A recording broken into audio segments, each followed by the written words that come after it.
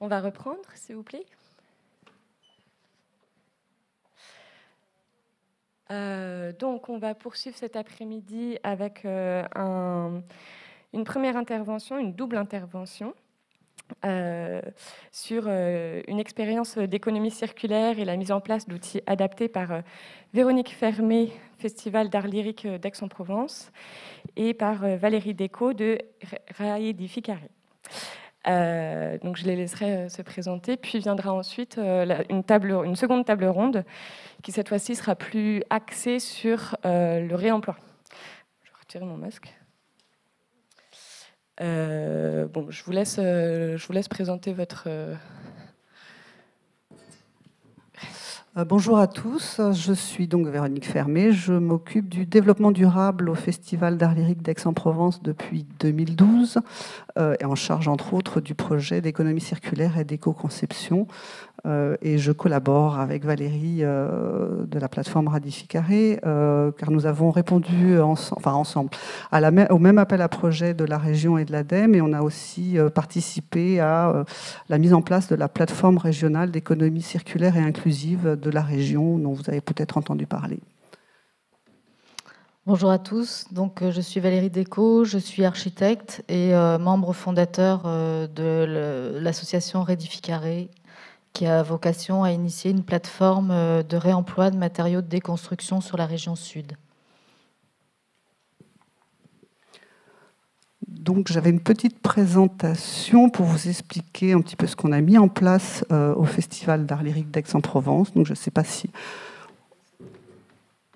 Voilà, bon alors, passer vite sur la première, euh, pour vous expliquer en fait ce que c'est que le Festival d'art lyrique d'Aix-en-Provence pour ceux qui ne connaîtraient pas. Donc c'est une association qui existe depuis 1948, un des trois gros festivals de la région. Euh, en temps normal, donc hors Covid, ce sont trois semaines de représentation plus un prélude euh, au mois de juin avec au minimum six productions euh, lyriques. 23 lieux de représentation dont les plus importants sont le théâtre de l'Archevêché, le Grand Théâtre de Provence, le théâtre du Jeu de Paume, le Conservatoire Éménier d'Open, pardon. 65 000 spectateurs environ en 2019 et près de 6 600 à 800 parfois euh, salariés, euh, dont 50 permanents. Euh, on a commencé notre démarche environnementale en 2010 par un bilan carbone euh, c'était très à la mode à l'époque. Euh, on s'est rendu compte finalement que les résultats étaient exactement les mêmes que pour toutes les structures, enfin tous les, événements, quels qu'ils soient, euh, sportifs, économiques, culturels. À peu près 80% de nos émissions étaient dues au déplacement, donc plus de la moitié à nos festivaliers. On a quand même mis en place une centaine de pistes d'action à, l'issue de ce bilan carbone. Donc vous avez quelques exemples. Je ne sais pas si c'est très visible, euh, si les photos sont bonnes. Donc bien sûr tout ce qui est co-cup, euh, système de collecte des déchets, communication auprès des publics, euh, voitures électriques toilettes sèches, réutilisation aussi euh, des euh, bâches euh, en recyclage maroquinerie. Et puis, petite anecdote, une formation de l'équipe costume à la teinture végétale qu'on essaye d'utiliser de plus en plus sur, sur nos productions. donc on, est bien sûr un, événement qui va produire des spectacles, mais on est aussi concepteur de décors. Euh, puisque nous avons donc un entrepôt de construction, enfin un atelier de construction de décors. Je ne sais pas si vous connaissez à si vous avez l'occasion de passer euh, par là. Donc 3000 euh, mètres carrés qui comprennent une menuiserie, une serrurerie, un atelier de décoration, bien sûr, costumes, lumière, accessoires. et nous construisons 3 à 5 décors par an qui vont tourner euh, entre 3 à 6 ans et qui reviennent chez nous euh, à, l'issue des, tournées. Donc, euh, dans le travail que nous avons fait justement sur bah, l'impact que nous avions, on s'est rendu compte, comme je vous disais, qu'on avait un gros impact sur le déplacement, mais qui n'était pas comptabilisé vraiment ou très visible dans notre bilan carbone, c'est l'impact des déchets. Euh, donc la première opération qu'on a faite, c'est identifier les flux de déchets que nous avions. Donc à une partie bien sûr de déchets pendant l'exploitation, mais aussi une grosse partie pendant la construction des décors. ce qui nous a permis d'identifier en fait notre problématique principale, c'est qu'on avait beaucoup, beaucoup de déchets de construction. Donc la première étape de notre travail a été de mettre en place le tri. Euh, on avait une benne DIB, enfin ce que nous on appelle tout venant, euh, et on ne différenciait pas le bois, le carton euh, des autres éléments. Donc on a mis en place des bennes différenciées, ce qui nous a permis de passer d'un recyclage jusqu'à 70% en fait des éléments de recyclage, mais surtout à une économie financière du coût de traitement de déchets, sachant que le bois, pour ceux qui le savent, ça coûte moins cher en traitement de déchets que le DIB. Donc on avait mis en place le tri, maintenant on s'est dit bah, il va falloir quand même qu'on réduise.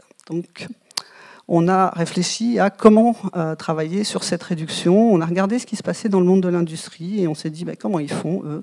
Ils travaillent sur le cycle de vie euh, et sur l'économie circulaire. Donc on est passé, euh, en fait, on a réfléchi à passer de l'économie linéaire à une économie circulaire, c'est-à-dire que nos déchets deviennent des ressources et pas uniquement finissent à l'enfouissement ou dans les décharges, etc.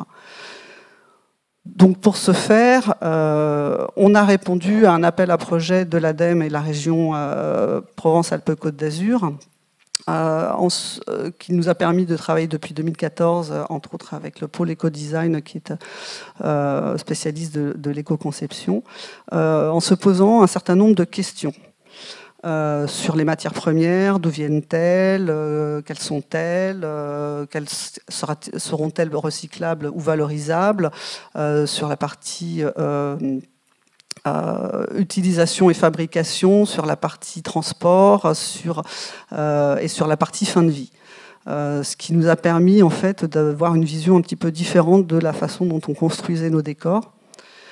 Et on s'est aussi posé la question de l'intérêt des enjeux. Quels sont nos enjeux finalement, euh, en dehors du fait qu'on avait un financement, euh, travaillé sur cette, euh, sur cette économie circulaire, avec un certain nombre de questions qui portaient autant sur la santé que sur la pollution ou les économies financières, sur toutes les étapes du cycle de vie. Et à chaque fois, on s'est rendu compte qu'il y avait un gain,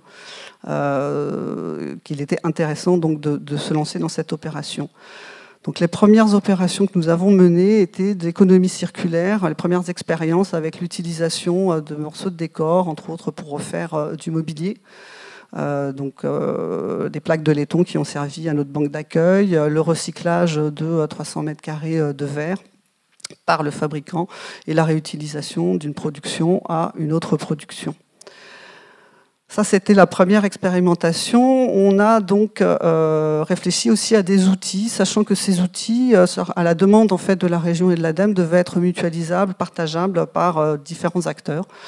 Donc, on a mis en place des outils, donc un guide méthodologique dont je vous parlerai un petit peu plus plus tard, une matériothèque, mais aussi des outils de calcul de fin de vie, c'est-à-dire combien nous coûte le déchet s'il est trié ou s'il n'est pas trié ou s'il est valorisé ou pas. Euh, et un outil euh, financier euh, de, calcul d'impact, c'est-à-dire si, on si on construit de façon traditionnelle, comme on a l'habitude de le faire, ou si on éco-construit, est-ce qu'on a un gain ou une perte financière Et un travail aussi sur nos tournées, puisque ça fait partie donc, du cycle de vie, le, transport. donc on a réfléchi aussi à tous les acteurs, quels sont les acteurs impliqués, comment on peut les impliquer, euh, et à quel moment ils peuvent agir ou ne pas agir euh, en termes d'éco-conception. Donc là, ce que vous avez, c'est une vue euh, du, du, guide méthodologique. Donc c'est un guide méthodologique qui est consultable en ligne, qui pour l'instant répond en fait à nos besoins et à nos contraintes de festival. On n'est même pas une maison d'opéra, hein, on est un festival avec une temporalité un petit peu différente. Euh, et on va travailler en fait à une version 2 et peut-être que là, euh, euh, on vous invitera via la FROA de MUSEM à peut-être nous donner votre avis déjà sur ce guide et peut-être sur des éléments qu'on pourrait ajouter ou des, expérimentations qui seraient intéressantes de, mener. Donc voilà un exemple des fiches pratiques qu'on a, qu'on a élaborées avec une réflexion en interne, mais aussi des tests qu'on a pu faire, puisque le fait d'être un festival nous permet d'avoir un peu de temps pour tester les matériaux et les process, à la différence d'une maison d'opéra qui va avoir cinq productions, mais en continu, et très peu de temps pour construire leur décor. Je vous parlais d'outils de calcul, on ne voit pas très très bien, mais voilà, ça c'est un peu le, système d'outils de calcul, donc euh, euh, la construction traditionnelle versus construction euh, éco-conçue. Donc euh, au départ euh, un calcul d'aide financier euh, pour pouvoir expliquer à nos directions que bah, ce n'est pas parce qu'on achète du liège qui est un petit peu plus cher que du polystyrène qu'en fin de vie ça va nous coûter plus cher. Donc vraiment calculer le coût d'une production sur la totalité de son cycle de vie et pas uniquement sur la matière première qu'on va acheter. L'autre outil que j'ai un petit peu euh, évoqué, donc dans les dossiers de montage, nous indiquons euh, les matières utilisées pour que soit si ce sont nos euh, machinistes qui les, détruisent, soit nos coproducteurs, on sache exactement en quoi ils sont faits et que s'il y a un châssis qui est 100% bois, il est bien, soit bien signalé et avec un calcul du coût si on trie le déchet ou si on met tout dans une seule benne. Donc voilà quelques exemples de nos, de nos résultats d'éco-conception. Donc avec Alchina, euh, euh, le premier euh, décor qui avait été conçu avec une réflexion donc sur le polystyrène, très peu de polystyrène, même sur les murs où on voit le plâtre apparaître, c'est du liège. Le seul morceau de polystyrène qui existe, c'est au-dessus de la porte, une petite corniche qui, au lieu de le coller au châssis, on l'a collé sur un CP très fin qui a été lui-même fixé au châssis ce qui permet en fait de recycler le châssis entièrement ou réutiliser. L'enlèvement au sérail, une dune de 8 mètres de long, euh, ben, on a été obligé d'utiliser du polystyrène hein, parce que c'était beaucoup plus maniable et beaucoup plus euh, léger. Par contre, on a euh, intégré des praticables pour limiter le, volume du, polystyrène.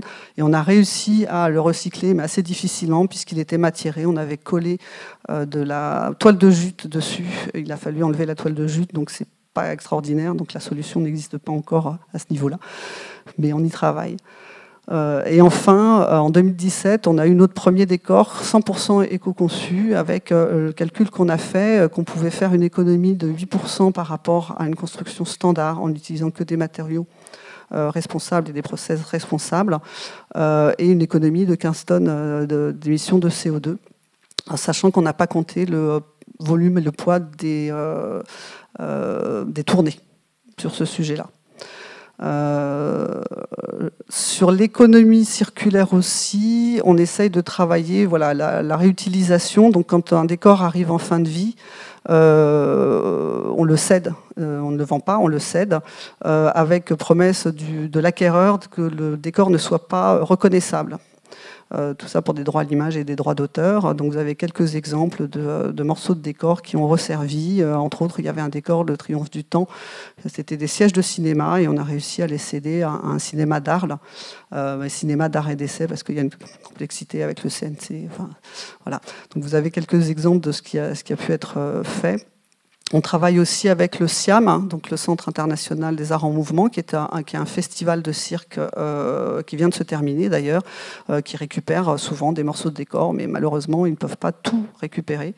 Euh, c'est un petit festival, donc on a vraiment, on s'est vraiment posé la question de comment céder ces décors à des structures culturelles qui n'avaient pas les moyens d'avoir des ateliers.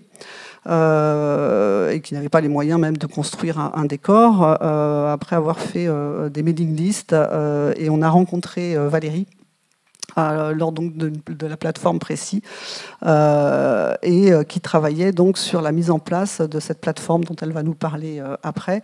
Et on s'est dit que c'était peut-être une solution, sorte de bon coin du décor, et qui pouvait être aussi le bon coin du matériau, puisqu'on a eu pas mal d'échanges d'ailleurs avec le MUSEM à une époque sur leurs besoins pour des scénographies, et nous ne pouvions pas y répondre, et on renvoyait à la plateforme Radificaré en disant bah, peut-être que là, il y aura une solution. Voilà. Pour finir, euh, euh, c'est un travail collaboratif, hein, euh, comme je vous disais. Donc, on a fait pas mal de labos au niveau national, en région, avec différents acteurs qui ne sont pas que des maisons d'opéra, des théâtres. On travaille aussi avec le cinéma, les productions audiovisuelles, les musées. Donc voilà, une quarantaine de, structures culturelles avec lesquelles on travaille actuellement. Et encore, je pense qu'on ne les connaît pas tous. Euh, même le cirque, le cirque et la marionnette, hein, qui a aussi ce, même genre de problème. Euh, euh, la mode et la haute couture, avec leurs magnifiques décors que vous avez peut-être vus.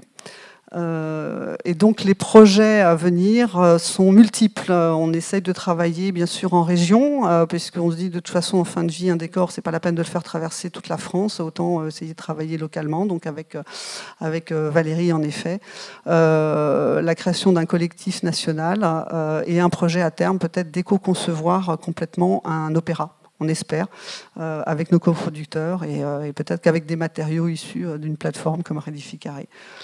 Et je voulais terminer avec euh, l'exemple typique de ce qu'on ne sait pas faire autrement qu'avec du polystyrène actuellement. Donc ça, c'est un problème, effectivement, sur des structures standards. On n'a pas trouvé d'autres solutions, donc on cherche. Donc on, est, on dit, plus on sera nombreux à chercher, peut-être qu'on trouvera une solution. Donc cette magnifique sirène de 8 mètres euh, de long, bah, vous la trouverez peut-être bientôt justement sur la plateforme Radificaré. Un jour, il y a quelqu'un qui m'a dit, ça intéressera peut-être un musée de la marine d'avoir cette magnifique euh, sirène. Voilà.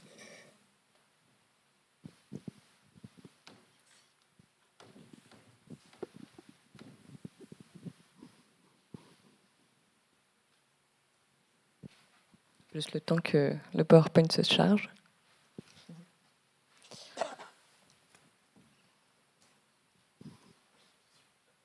Peut-être que vous pouvez commencer déjà à vous... Ah bah c'est bon. Voilà, très bien. Euh, donc, euh, nous sommes euh, des architectes initialement qui faisions notre métier d'architecte. Donc on construisait des bâtiments. On s'est rendu compte que la démolition euh, souvent nous échappait. Euh, en fait, les maîtres d'ouvrage euh, avaient tendance à confier la démolition à des bâtiments à d'autres maîtrises d'œuvre. Et on s'est dit que on pouvait pas. Enfin, on s'est rendu compte que on voulait absolument intervenir sur sur la question de la matière et qu'on pouvait pas continuer à rester dans un système où le matériau nous échappait en fait. Donc on a créé euh, cette association euh, Rédificaré.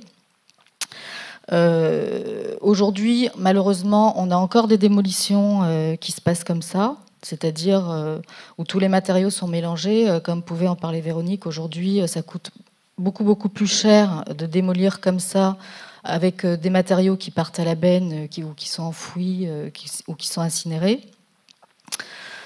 Euh, en fait, en travaillant sur la question euh, de la matière et du déchet, on s'est rendu compte que notre secteur, ce qu'on ne savait pas en fait, parce que euh, quand on construit des bâtiments, on s'intéresse pas vraiment aux déchets. On s'est rendu compte que le secteur du BTP, en fait, il produit 70% des déchets tout confondus. Donc on a un énorme impact sur, sur la production de ces déchets. Et en parallèle de ça, ben, comme vous, vous, le savez, la ressource aujourd'hui vient à manquer. Le sable, pour nous, euh, est, un vrai problème. Il n'y a plus de sable aujourd'hui. Il se fait voler sur les plages euh, dans les pays émergents. Et donc, euh, on ne peut plus continuer à construire avec du béton comme on a fait jusqu'à présent, sans se poser la question de la ressource. En parallèle de ça, on a encore affaire à de très très grosses quantités de déchets du bâtiment qui sont jetés dans la nature. Euh, on a évalué ça, enfin, les, institutions, le ministère a évalué à 49 millions de tonnes de déchets du bâtiment qui sont euh, jetés dans la nature annuellement en France. Et donc, euh, nous, en travaillant sur ce secteur, on s'est rendu compte que, en fait, les bâtiments existants, pour nous, c'était une mine de matériaux et qu'on allait pouvoir travailler là-dessus pour réutiliser ces matériaux pour construire des bâtiments neufs à défaut de conserver les bâtiments existants et de les reconvertir dans la mesure où très souvent les bâtiments qui sont euh, démolis sont de bien meilleure qualité que les bâtiments qui vont être construits. C'est une architecte qui le dit. Alors, le réemploi, c'est quoi? Donc, nous, euh, on est complètement focalisé sur le réemploi, c'est-à-dire euh, le réemploi, c'est réutiliser des matériaux qui sont euh, déconstruits de bâtiments existants et qui vont soit être réutilisés en l'état pour le même usage, soit qui vont être légèrement remis en état pour être réutilisés soit dans le même usage, soit avec un usage détourné, ce qui est souvent possible en fait.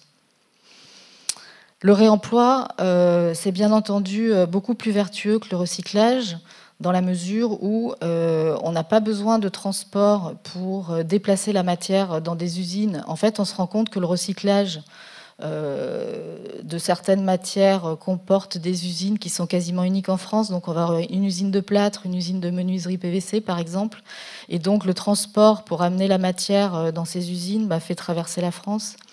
Ensuite, la matière, il faut de l'énergie et de l'eau pour la retransformer dans, son, dans sa matière première et refaire du transport pour déplacer ces matériaux sur les sites, les plateformes du bâtiment.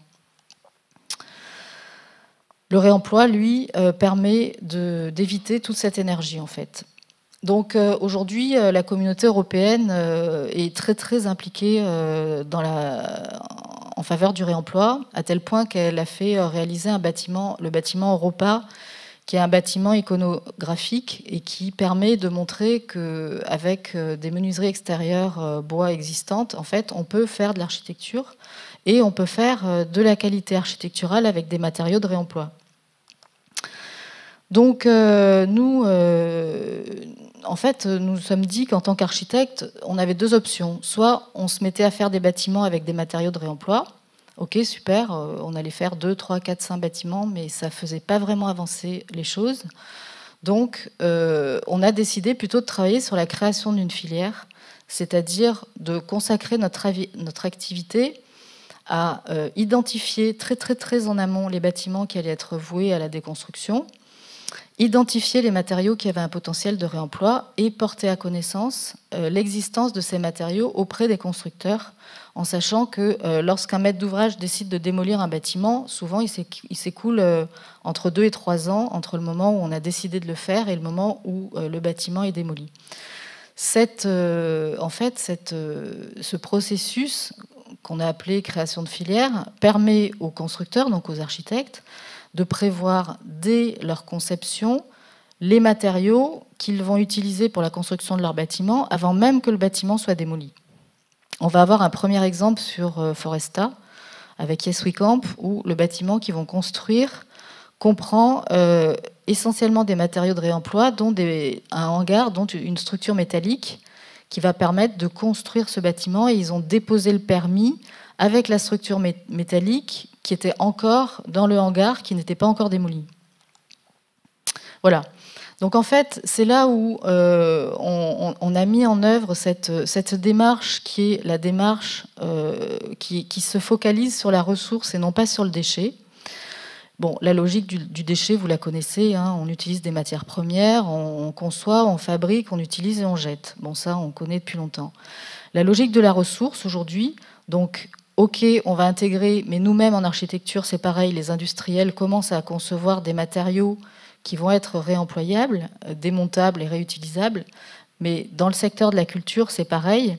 On peut éco-concevoir maintenant des scénographies et des expositions en, en prévoyant dès l'amont les modalités de déconstruction pour que tous les matériaux puissent être réutilisables. Et donc, dans ce cas-là, on va pouvoir utiliser euh, la scénographie ou les panneaux d'exposition et ensuite chercher une deuxième vie dès la conception de la scéno pour, euh, pour nos propres matériaux. Alors en travaillant avec le festival d'Aix-en-Provence, on s'est rendu compte que finalement, les matériaux qu'ils utilisaient euh, pour leur scénographie étaient finalement des, matériaux que nous, nous utilisions également, que ce soit du bois, du verre, du tissu, du métal, du bois. Euh, en fait, euh, on est sur les mêmes ressources. Et donc, euh, dans la mesure où nous, nous travaillions sur une plateforme qui permettait de porter à connaissance l'existence de ces matériaux, avec le festival, on s'est dit pourquoi pas utiliser le même outil. Donc, on a créé un outil numérique qui permet de poster, en fait, bien en amont, enfin, qui permet aujourd'hui, qui est en libre accès, qui permet à n'importe quelle structure euh, de créer un compte soit en revendeur de matériaux, soit en acheteur, d'y poster, de préparer des catalogues de matériaux. Donc un catalogue, ça va correspondre soit à un bâtiment, soit à une scénographie, soit à une exposition.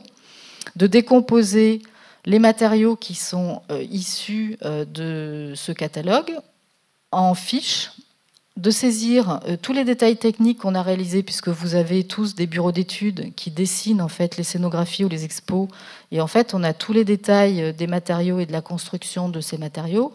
Donc en fait on peut préparer son catalogue sur la plateforme avec une date de mise à disposition qui peut être euh, en attente. Hein, on peut rendre son catalogue visible que lorsqu'on a décidé qu'on connaissait la fin de vie de l'ouvrage. Et ensuite, on va avoir la possibilité pour d'autres acteurs, des associations, des, artistes qui vont pouvoir, ou d'autres compagnies, qui vont pouvoir venir réserver ces matériaux. Donc, en fait, on est sur la logique de chercher un repreneur euh, dès la conception en fait euh, de l'ouvrage, et parce qu'on s'est rendu compte que c'est en anticipant complètement euh, le processus qu'on avait le plus de chances de trouver des repreneurs. Et c'est pas, bon, nous on nous appelle souvent en nous disant voilà, on a le camion là qui va partir, on envoie où les matériaux? Ben, on ne sait pas en fait. En fait, il fallait qu'on le sache six mois à l'avance, et c'est là qu'on peut en fait créer une vraie chaîne de, partage de matériaux. Et donc là, on a décomposé euh, la, démarche, c'est que donc dès la conception, on prépare euh, son catalogue, on décrit ses matériaux, puisqu'on doit le faire de toute façon pour les acheter, et on saisit euh, les plans techniques de fabrication.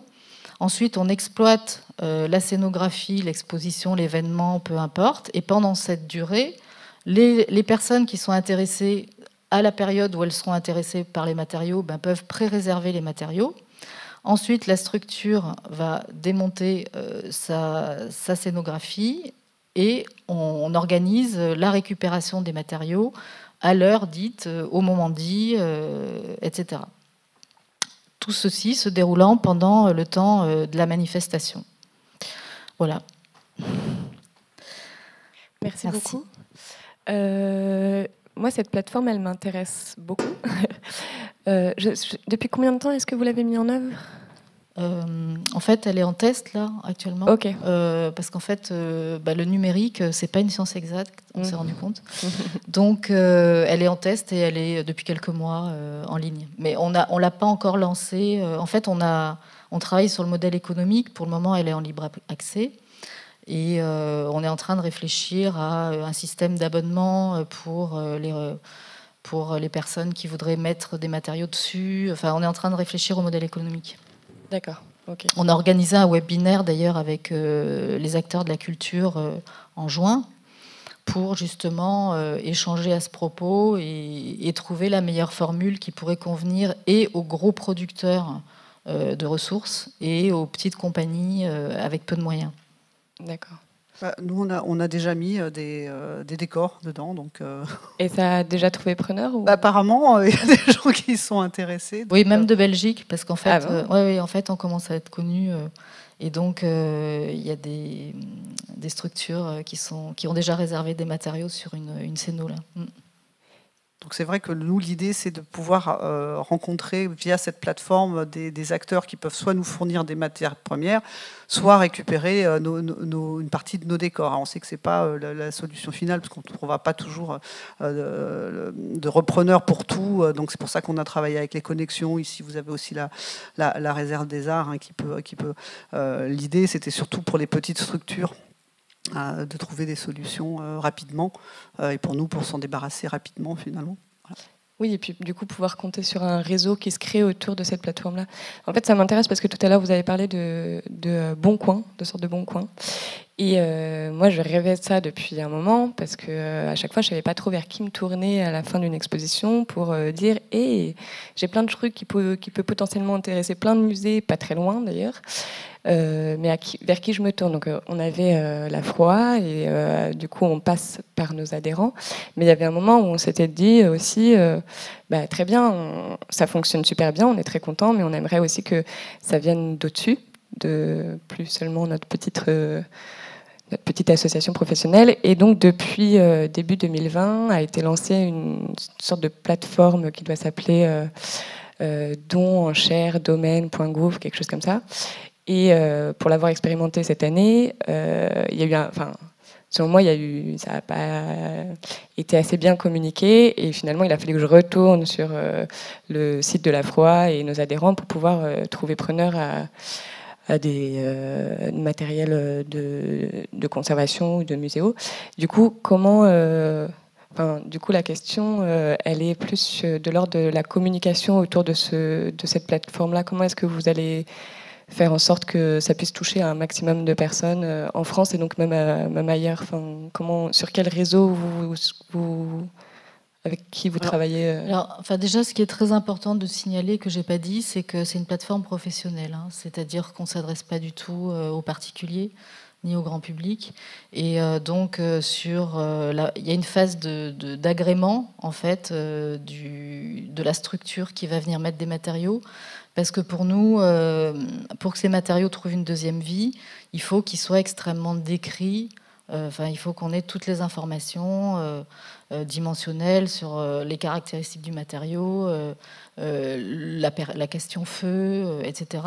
Et donc, pour passer un peu ce temps quand même à la renseigner, il faut que le réseau enfin, soit des professionnels.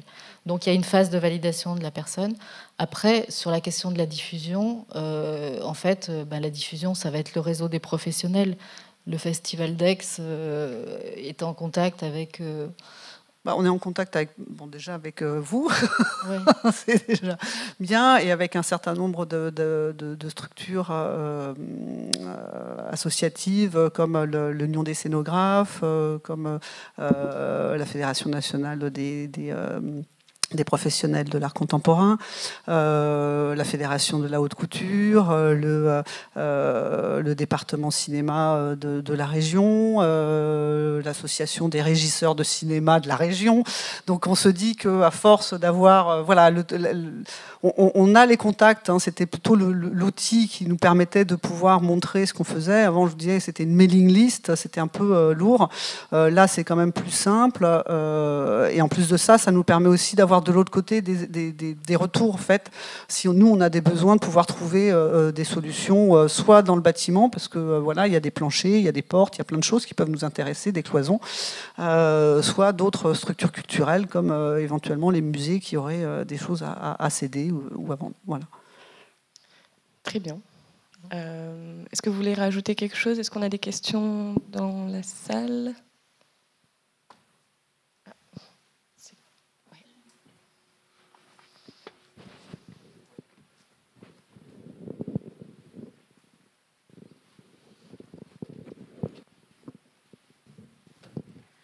Bonjour, donc Sylvie Bétard, collectif Les Augures et cofondatrice de la Réserve des Arts. Euh, donc le sujet euh, m'intéresse beaucoup. Euh, je me posais la question de votre modèle économique. vous avez parlé de, démontage, enfin sur la, dernière phase de, des, activités justement du démontage et de, l'organisation du transport.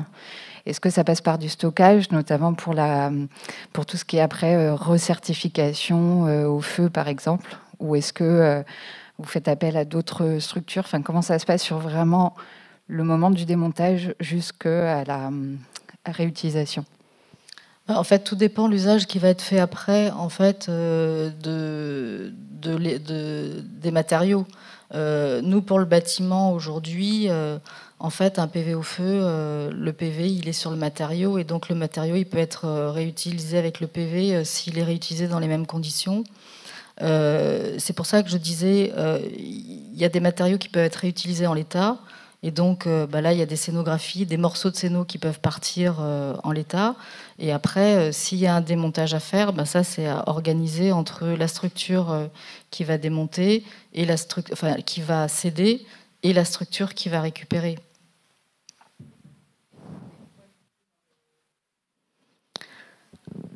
Bah, aujourd'hui, si vous voulez, euh, ça, va dépendre en fait de la volonté de chaque structure. Euh, par exemple, le Festival d'Aix, eux, souhaitent céder gratuitement euh, leur, leur décor, enfin leur scéno.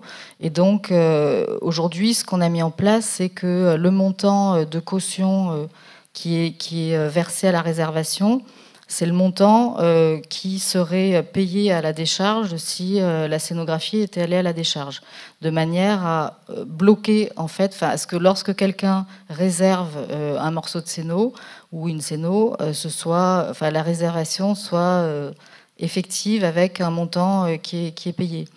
Euh, chaque structure va pouvoir choisir euh, de faire payer ou pas. Enfin, nous, on a des promoteurs, par exemple, qui font payer les matériaux, euh, et donc les matériaux sont payants. Et enfin voilà. Donc après, chaque structure va avoir ses conditions générales de, de cession. surtout par rapport aux questions de propriété intellectuelle des scénos euh, qui, vont, euh, par exemple, ne pas autoriser à, diffuser le nom euh, de l'origine de la scénographie. Enfin, chaque, en fait, on s'est rendu compte que chaque structure avait vraiment ses critères de session et qu'on ne pouvait pas faire une organisation qui serait lissée pour tout le monde. Et donc, on laissera la possibilité à chaque structure de choisir en fait ses conditions de session en fait. Alors euh, nous, on souhaite euh, euh, céder et on souhaite à ce que ça ne nous coûte pas plus cher que la mise en benne. Voilà. Donc les solutions qu'on essaye de trouver, c'est alors généralement on demande à l'acquéreur de venir avec son propre camion. Euh, sur place, parce qu'on a des entrepôts, hein, euh, sur place, on a les machinistes qui aident à monter dans le, dans, le camion, et, euh, après, voilà, c'est à leur charge. Hein. Donc le but, c'est pas de faire de l'argent, mais par contre, c'est pas que ça nous coûte plus cher que de la mise en benne. Et je pense que pour beaucoup de structures, c'est ça qui est important finalement, trouver une solution qui coûte le moins cher possible, mais qui ait le moins d'impact aussi. En tous les cas, pour nous, euh, pour les matériaux du bâtiment, euh, c'est toujours la structure repreneuse qui vient euh, chercher les matériaux. Dans un deuxième temps, on pourra proposer le service du transport, mais aujourd'hui, on ne l'a pas mis en place. enfin, dans les musées, c'est préparé pareil, c'est-à-dire que on donne, mais on ne, c'est pas à nous de nous charger du transport et de la récupération. Mais n'empêche que même même euh, ça, ça veut quand même dire préparer, accueillir euh, les personnes, préparer euh, la demande d'accès, les faire monter en salle. Il y a quand même une petite logistique autour de ça et qui est quand même pas non plus négligeable. Mais oui, c'est sûr qu'on ne pourrait pas se permettre, nous, en tout cas pour le moment, de gérer en plus le transport. c'est pas possible. Ben, merci beaucoup en tout cas pour votre intervention, c'était très intéressant.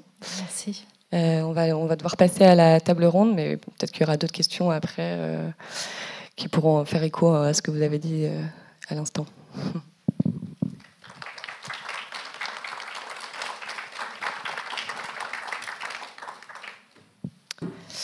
Du coup, je vais appeler pour la table ronde plusieurs personnes.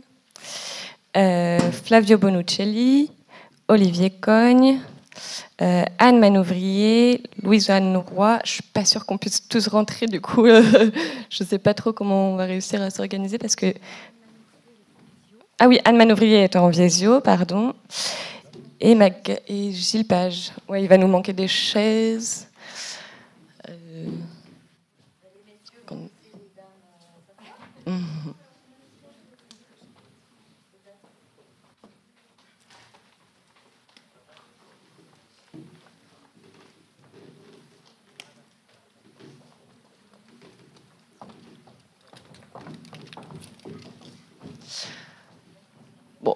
Euh, ah oui, parce que oui, on, on est très nombreux. Ben, sinon, oui, si ça vous gêne pas, et puis euh, on, vous garde. Euh, mettez-vous pas très loin, et puis comme ça, on pourra continuer à vous poser des questions. Et Anne Manouvrier est avec nous en visio. Vous nous entendez, Anne? Oui, oui, ah, parfaitement. Bonjour à tous. Parfait, ça fonctionne bien. Euh, donc cette fois-ci, c'est une table ronde qui va être euh, axée davantage sur euh, le réemploi dans le monde de la culture. Alors juste, j'ai reçu quelques petites indications. Parlez bien près de votre micro, sinon ça fait. On est en, plus, on est en même temps en streaming sur YouTube. On a reçu des questions ce matin, donc on va peut-être essayer de les poser cet après-midi, parce que de toute façon, la table ronde est assez complémentaire à ce qu'on a pu déjà dire ce matin. Euh, donc on va essayer de garder cette même dynamique euh, avec euh, du dialogue et surtout des questions dans la salle. donc je vais tous vous présenter rapidement d'abord, avant de passer aux questions. Euh, donc à ma droite, on a Flavio Bonuccelli, qui est diplômé euh, en architecture à Florence. Il a ouvert son agence en 2014 et euh, ce qui lui a permis de collaborer avec différents musées, parmi lesquels le musée d'Orsay, la BNF, le Petit Palais ou encore le Louvre-Lens ou le Mémorial de Verdun. Et en 2019, il a assuré la scénographie de cinq expositions, notamment deux gars à l'Opéra au Musée d'Orsay, et dont je peux témoigner puisque j'ai organisé le don de ces très belles vitrines à la Cinémathèque. Ils étaient très contents. Euh, donc, mais aussi euh, d'autres expositions comme euh, Tolkien, Voyage en terre du milieu à la BNF, donc avec Anne, dont on parlera un peu, ou encore concept carte beauté pure au château de Compiègne. Et il travaille actuellement sur de futurs projets d'expo, dont on espère qu'elles verront le jour, au musée des Beaux-Arts de Lyon ou encore au musée de l'Armée. Voilà. ensuite, je vais Olivier Cogne, euh, historien et archiviste de formation. Il dirige actuellement le musée dauphinois à Grenoble depuis 2016, après avoir été directeur du musée de la résistance et de la déportation de l'Isère, Maison des droits de l'homme. Euh, spécialisé dans l'histoire euh, contemporaine de l'Isère et euh, le protestantisme dauphinois sous l'Ancien Régime. Il a pu piloter plus d'une trentaine d'expositions, donc on peut compter sur son expertise. et donc on peut en citer quelques-unes. Un air d'Italie en 2011. à l'arrière, comme au front, les Isérois dans la Grande Guerre en 2014. Tzigane, la vie de Bohème, point d'interrogation, en 2015 et ou encore euh, Grenoble 1968, les Jeux olympiques qui ont changé l'Isère en 2018. Et il est également euh, vice-président de la Fédération des écomusées et musées de société, dont il va nous parler aussi un peu euh, tout à l'heure. Anne Manouvrier, du coup, qui nous a rejoint en visio, parce qu'on est tous devenus des experts de la visio en 2020, euh, et qui est du coup adjointe à la chef de service euh, des expositions à la BNF et chef de projet. Elle est également référente euh, développement durable au sein du service des expos de la BNF. Et donc, elle a notamment été chargée de l'exposition Tolkien, dont je parlais tout à l'heure, donc avec Flavio. Et donc une exposition qui a eu lieu d'octobre 2019 à février 2020. Une expo épargnée par le Covid. Euh, et donc, euh, puis viendra ensuite euh, une expo sur Joseph Koudelka Ruine sur le site François Mitterrand, dont vous assurerez aussi le montage. Louise, Louise-Anne Roy, et donc ça, c'est votre collègue. alors, pardon? Paul Gomez, voilà, Pardon, ok. Eh ben, très bien. Euh, donc, de la réserve des arts, qu'on avait euh, déjà accueilli l'année dernière pendant la journée d'études euh, du 15 novembre au Centre Pompidou pour nous présenter la, réserve des arts à Pantin. Mais là, c'était l'occasion de nous présenter la toute nouvelle antenne sud, donc association spécialisée dans le réemploi dans le domaine culturel. Euh, donc euh, Louisanne est responsable de, de, la, de, donc cette, de cette antenne et euh, elle est en charge de la gestion financière et stratégique de la structure, ainsi que de l'organisation et de la logistique des 850 mètres carrés dédiés à l'économie circulaire dans le secteur culturel. Designer d'espace de formation, elle s'est spécialisée progressivement dans des projets liés au réemploi et à la gestion durable des ressources. Et euh, enfin, Gilles Page, euh, représentant d'Arsud, anciennement Arcade, euh, donc agence régionale du spectacle vivant, établissement public porteur de projets culturels territoriaux. Donc ça se traduit par exemple par euh, euh, des, appels à projets. Donc je me permets par exemple de citer celui euh, Défi Développement Durable, qui est un concours qui vise à récompenser les actions et initiatives culturelles et qui mettent en place une vraie politique de transition écologique. Et donc, Arsud, c'est aussi la gestion d'un parc de matériel scénique dont vous nous, vous nous parlerez sans doute tout à l'heure. Et ça va donc aussi nous nous permettre d'élargir euh, notre sujet euh, à tout le monde de la culture euh, plus largement et plus seulement sur les expositions temporaires. donc c'est Olivier Cogne qui va ouvrir cette table ronde que je lui laisse l'honneur en nous présentant la synthèse d'un questionnaire qui a été adressé aux adhérents de la Fédération des écomusées et des musées de société tout récemment là, c'est ça et euh, donc sur la manière dont euh, ils agissent au sein de leur structure pour réduire leur impact environnemental. Donc, vous allez nous parler de réemploi, de recours aux entreprises locales, de scénographie en, interne, etc.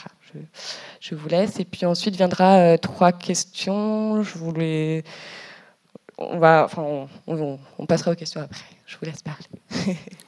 Merci à vous. Euh, bonjour à toutes et à tous. Euh, je me fais effectivement euh, un modeste porte-parole, non pas de l'ensemble des structures qui constituent la FEMS, puisqu'on m'a rappelé le chiffre tout à l'heure.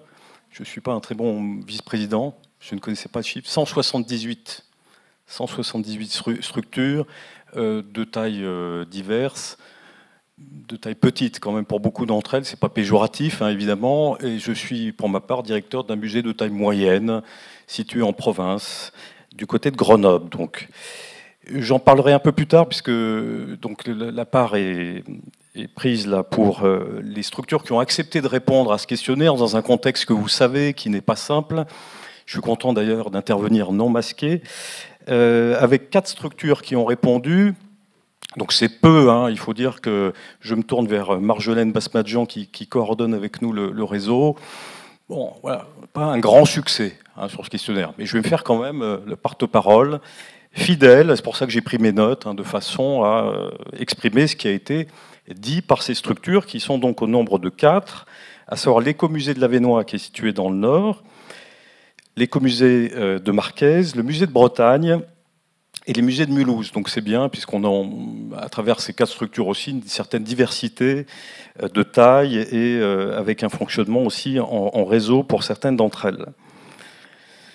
Alors, en dehors des quatre structures, il y a eu quand même beaucoup de retours, hein, c'est ce qu'on m'a indiqué, euh, des structures qui nous ont dit, ça fait belle lurette que nous sommes engagés dans une démarche éco, qui, au départ et encore aujourd'hui, répond non pas à des questions écologiques, même si toutes ces structures sont quand même sensibles à, l'écologie, qui ne l'est pas aujourd'hui, mais bien répond à euh, une question d'économie de moyens. Donc ça, c'est un retour généralisé pour des structures, je le rappelle, de taille petite euh, ou moyenne, qui pour la plupart donc, sont situées sur tout le territoire français, pas forcément sur Paris même. Du côté de l'écomusée de la Vénois, par exemple, euh, cette démarche de réemploi donc, remonte à une quinzaine d'années. C'est intéressant aussi de dater ça dans le temps pour pallier donc à des ressources économiques limitées. La dimension éco-responsable, hein, euh, dont on parle beaucoup, est, beaucoup plus récente. Elle, elle est liée, euh, cette démarche donc euh, éco-responsable, à l'arrivée en 2018 d'une personne à qui l'on va confier une mission de scénographie en interne, mais correspond aussi, on me l'a bien précisé, au reflet de la volonté de l'ensemble de l'équipe. Je le dis quand même au passage, parce que sinon je, trahirais la parole pour un écomusée qui est situé dans un milieu forestier, qui évidemment n'est pas anodin par rapport aux orientations prises euh, dans ce domaine. Du côté du musée de Bretagne, la démarche est aussi euh, ancienne, hein, c'est-à-dire qu'elle euh, est datée là de 2006 parce que ça correspond à la création des champs libres que vous connaissez peut-être, qui est un espace qui regroupe donc à Rennes la bibliothèque de Rennes Métropole, le musée de Bretagne, ainsi que deux associations, l'espace des sciences et son planétarium, et la cantine numérique rennaise. Mutualisation de moyens qui va imposer euh, donc dès 2006 la mise en place d'un parc de matériel destiné aux expositions qui sera géré par une équipe technique dont les compétences sont plurielles comme euh, souvent, régie audiovisuelle, éclairage, ateliers spécialisés dans le soclage, etc et sensible donc à la question du réemploi, qui est le thème qui nous réunit, tant par économie euh, que par préoccupation environnementale. Depuis 2017, à Rennes toujours, cette démarche a été renforcée avec l'adoption d'un plan climat, air, énergie territorial porté par la ville et la métropole. Un plan qui vise à diviser par deux les émissions de gaz à effet de serre par habitant d'ici à 2030. Comment ça se traduit concrètement? Par l'établissement d'un autodiagnostic pour les équipements qui relèvent donc de ces deux collectivités. Donc les champs libres sont soumis à cet exercice de l'autodiagnostic euh, qui clairement donc, doit aboutir à, l'établissement d'une feuille de route, alors qui est peut-être déjà euh, en place. Euh, on m'a indiqué d'ailleurs que Marie-Noël Follon, qui est régisseur des expositions du musée de Bretagne, était peut-être dans la salle. Donc elle pourra peut-être compléter tout à l'heure. Avec, bien évidemment, au-delà de la feuille de route, la mise en place d'un plan d'action très concrète pour les années qui viennent. Des différents retours que ces quatre structures m'ont fait, euh, vous avez derrière moi donc sept thèmes qui se dégagent, où le réemploi est évidemment central, euh, mais n'est pas le seul sujet qui a été abordé par ces structures. Le premier, hein, le choix des matériaux, qui intervient sur le début de la liste. Je vais être à la fois, euh, en fonction des retours qu'on m'a fait, bien sûr, hein, que je n'invente pas, euh, dans une approche un peu globale, et puis euh, avec des exemples très concrets, hein, de façon à ce que nous ayons des échanges sur des aspects très pragmatiques. L'écomusée de la Vénois évoque par exemple l'emploi d'essence de bois issus de forêts gérées durablement de matériaux dits, je cite, résilients par rapport à l'environnement de l'exposition. Des meubles en bois qui ont une deuxième vie, des plaques ou des planches qui servent de socle, qui sont réutilisées, on l'a entendu depuis le début de la journée, pour les caisseries, des étagères, des tests pour des ateliers de médiation. Pour sa prochaine exposition, toujours l'écomusée de la Vénois, emploiera des bois certifiés P EFC. Hein, moi, je déteste les acronymes, hein, je ne sais pas vous. Donc, je développe Programme européen des forêts certifiées. Je, découvre, hein, je ne connaissais pas. Programme créé en 1999 qui a pour but, je cite, d'apporter aux consommateurs la garantie d'acheter un produit issu de forêts qui assure une gestion durable de l'exploitation forestière. Ils proviennent de pays nordiques, donc ces arbres, euh, et subissent moins de traitements chimiques du fait de leur évolution dans des conditions climatiques plus extrêmes. C'est ce qu'on nous assure, en tout cas. Hein. Deuxième point, la prise en compte du caractère éco dans l'agencement des parcours. C'est un point qui a été abordé de façon euh, assez rapide dans les questions qui ont été formulées. Le musée de Bretagne, là, qui s'appuie pour ce faire sur un parc de cloisons modulaires de hauteur variable, complété de cloisons bois si nécessaire. Troisième point, donc le réemploi qui est récurrent dans toutes les réponses qui ont été formulées.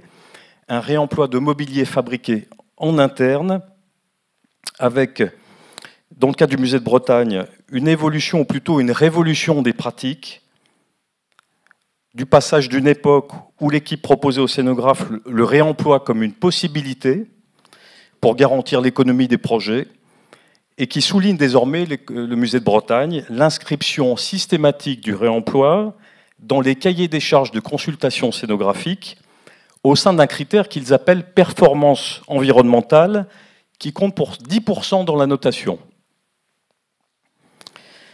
Le réseau des musées de Mulhouse, lui, évoque pour sa part de façon plus ponctuelle un réemploi de mobilier dans le cadre d'un grand jeu de pistes scénarisé et scénographié sur plusieurs structures à l'occasion de la nuit des musées. Au fil des années, les équipements disposent d'un stock afin de minimiser les nouveaux achats, à la fois dans un but éco-responsable et là aussi dans un souci d'économie qu'ils réutilisent ou transforment. L'écomusée de la Vénois, lui, évoque là encore un point qui est revenu hein, depuis le début de la journée, à savoir les propositions de dons, hein, il en a été question à l'instant, d'éléments de construction à ses partenaires, ainsi des structures en bois qui ont été remises au moment du démontage de la dernière exposition de l'écomusée à l'atelier de menuiserie de l'Institut médico-éducatif de Fourmi, entre autres exemples. Recyclage des matériaux.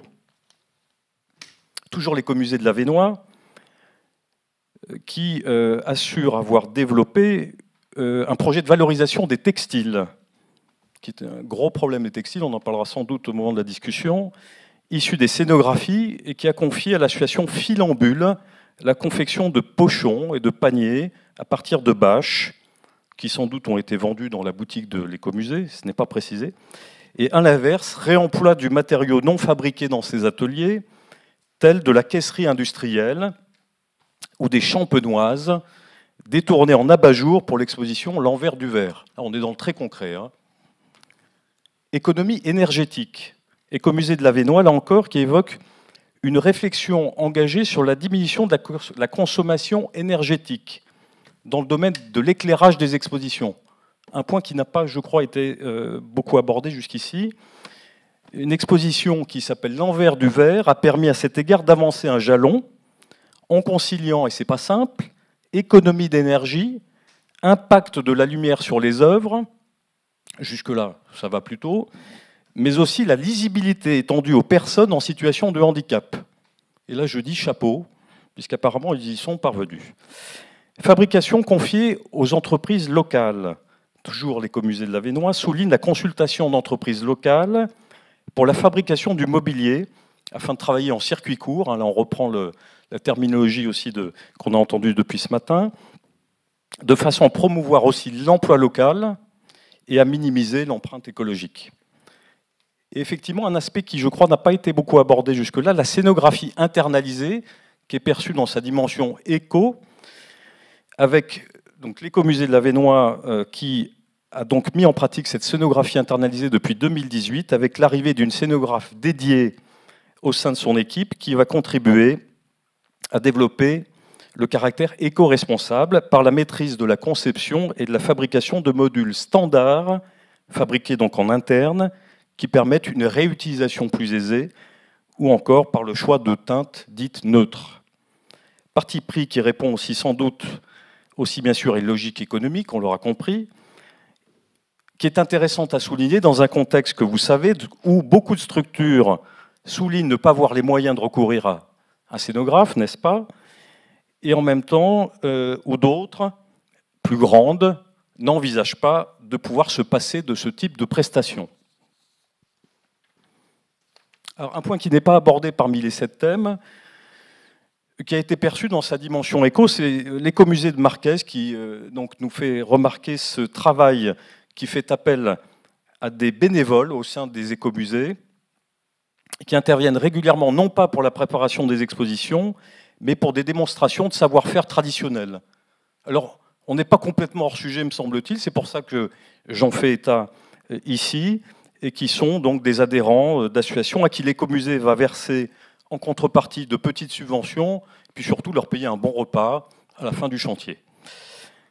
Florence Raguenes, qui est la directrice de l'écomusée de Marquez, d'ailleurs souligne que l'écomusée d'Alsace, à une époque, était allé assez loin, dans un contrat de type donnant-donnant, dans lequel il était convenu que le bénévole apporte telle compétence à l'écomusée, elle me citait l'exemple des forges, dans, la compétence des forges, et qu'en échange, ce bénévole se voyait formé dans un autre domaine de son choix, en l'occurrence la réparation des vieux tracteurs, un exemple sans doute vécu. Un bilan qui était fait chaque année démontrait que ça paraissait plutôt bien fonctionner. Et puis, euh, deuxième diapo, s'il vous plaît, la question des freins, parce que tout ça n'est pas facile, évidemment, la dimension éco apportée dans nos établissements. Parce que sans qu'on leur demande, nos collègues ont fait remonter que ce n'était pas si simple que ça, forcément. Dans le domaine du, du réemploi, par exemple, le musée de Bretagne évoque la nécessité, ça ne va pas vous étonner, il en a été question, de disposer d'espaces de stockage suffisants et fonctionnels, de moyens humains pour le tri, le rangement, le transport, le don, et le suivi de la fameuse base mobilier, que nous n'avons pas d'ailleurs au musée dauphinois, hélas. Les limites techniques et esthétiques du réemploi, auxquelles j'ajouterai les contraintes de conservation. La question du temps, car une telle démarche suppose de disposer de temps pour améliorer les process, réfléchir au choix des matériaux, former les agents, les convaincre, etc. Parce que, effectivement, derrière le, tout le monde est assez convaincu, on l'a dit, mais euh, de là à le mettre en application, c'est sans doute une autre étape. L'un des techniciens du musée dauphinois, d'ailleurs à cet égard, souligne que c'est une démarche très chronophage. Sans oublier euh, la mise aux normes perpétuelle, on n'a pas trop parlé depuis ce matin, qui ajoute à la difficulté pour prendre en compte les évolutions tant dans l'emploi des matériaux que pour les conditions d'accueil du public. On a peu parlé du public hein, depuis le début de la journée. Chacune de nos expositions, à ce titre, je pense que toutes les personnes qui travaillent dans des structures peuvent en témoigner, les expositions font l'objet d'une visite de contrôle par une entreprise spécialisée avec l'établissement d'un PV de conformité à l'issue des montages. Voilà, je ne vais pas être plus long pour espérer avoir été un porte-parole honnête et respectueux de ce que m'ont dit euh, mes camarades.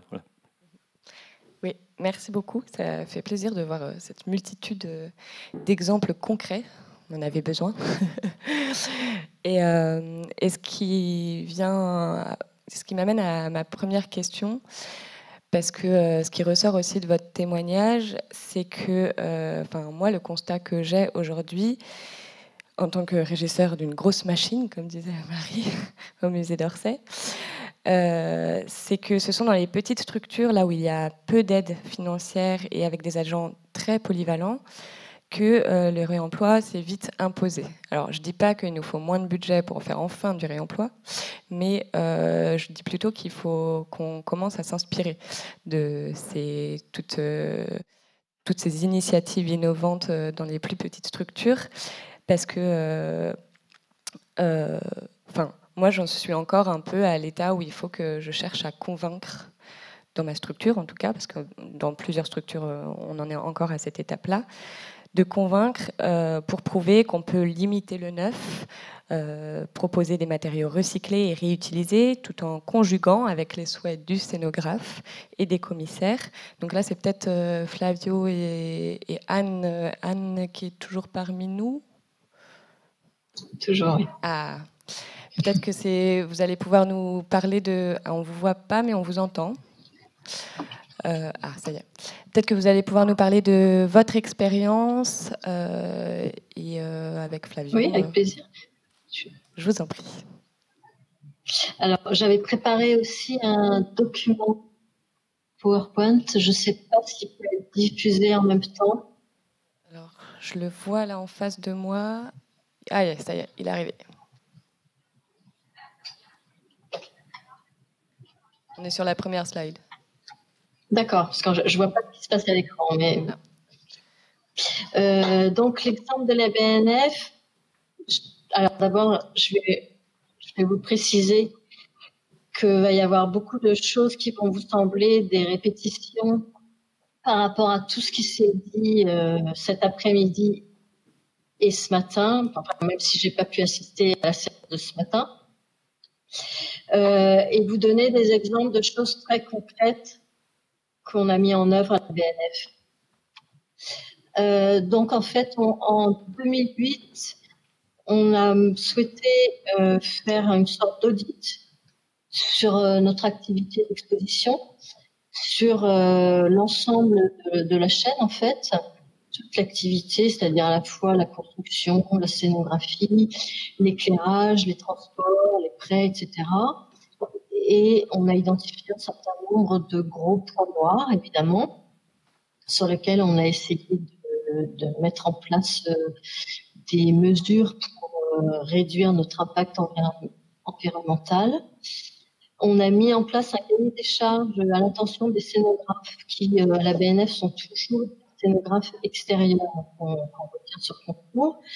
Et donc, systématiquement, depuis 2008, on leur envoie ce cahier des charges avec un ensemble de préconisations à respecter dans leur projet au moment, dès le moment de la conception, puisque euh, tout le monde est persuadé ici, on travaille euh, tous à différents moments de la chaîne hein, de l'exposition et que plus l'ensemble des partenaires qui travaillent sur cette chaîne seront sensibilisés au développement durable, plus on arrivera à mettre en place des mesures pour euh, réduire euh, que ce soit la consommation de matériaux ou euh, la mise en place l'utilisation de matériaux plus respectueux de l'environnement.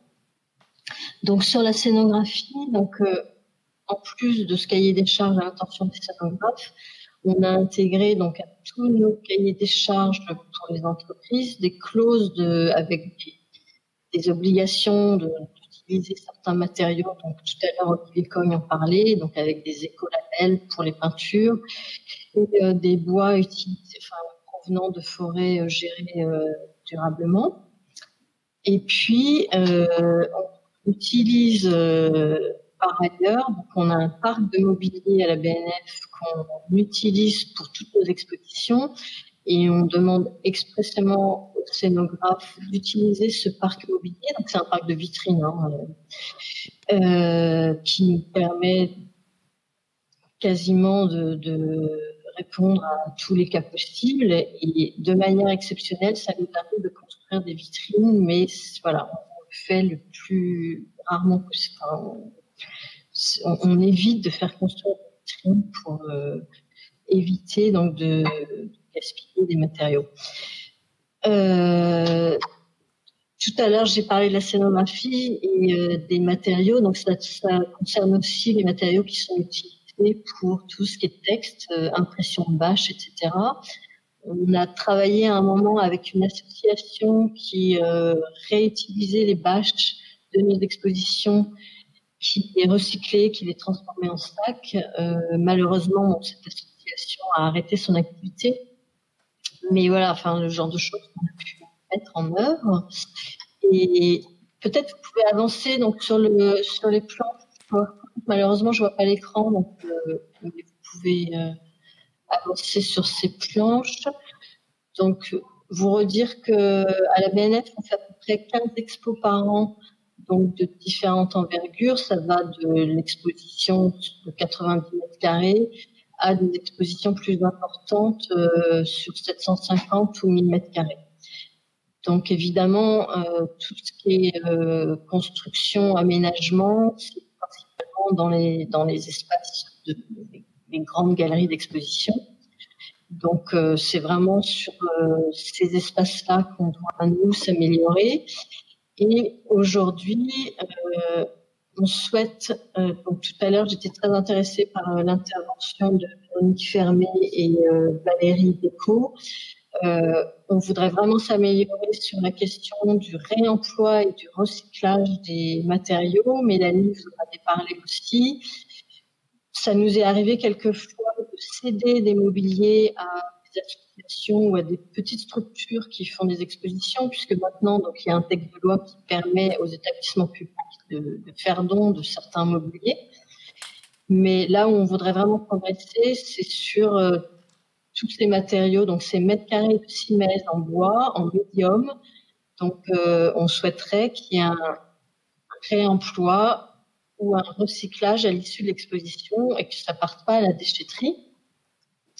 Euh, donc, ça nous arrive de temps en temps de demander au scénographe de réutiliser certains éléments d'une scénographie précédente, mais bon, ça reste assez marginal. Et donc, euh, je sais pas si vous avez déjà diffusé la planche euh, que j'ai appelée déchets, où on voit une photo de certains chantiers, et ça, on aimerait bien que ça n'existe plus.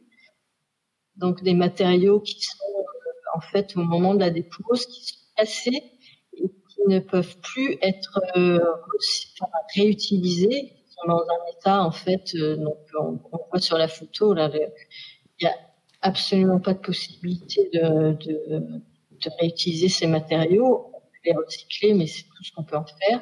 Donc ça, on voudrait vraiment s'améliorer et pouvoir faire euh, du réemploi. Donc là, sur une exposition qui va avoir lieu au printemps, et je vais terminer mon intervention euh, sur ce projet, on, souhaite travailler avec euh, une assistance à maîtrise d'ouvrage pour que dans le CCTP, dans le cahier des charges pour la construction des entreprises, il y a déjà dans le mode de construction de, des CIMES euh, des, méthodes de construction qui soient plus faciles pour à la fois pour la dépose et pour le réemploi des matériaux.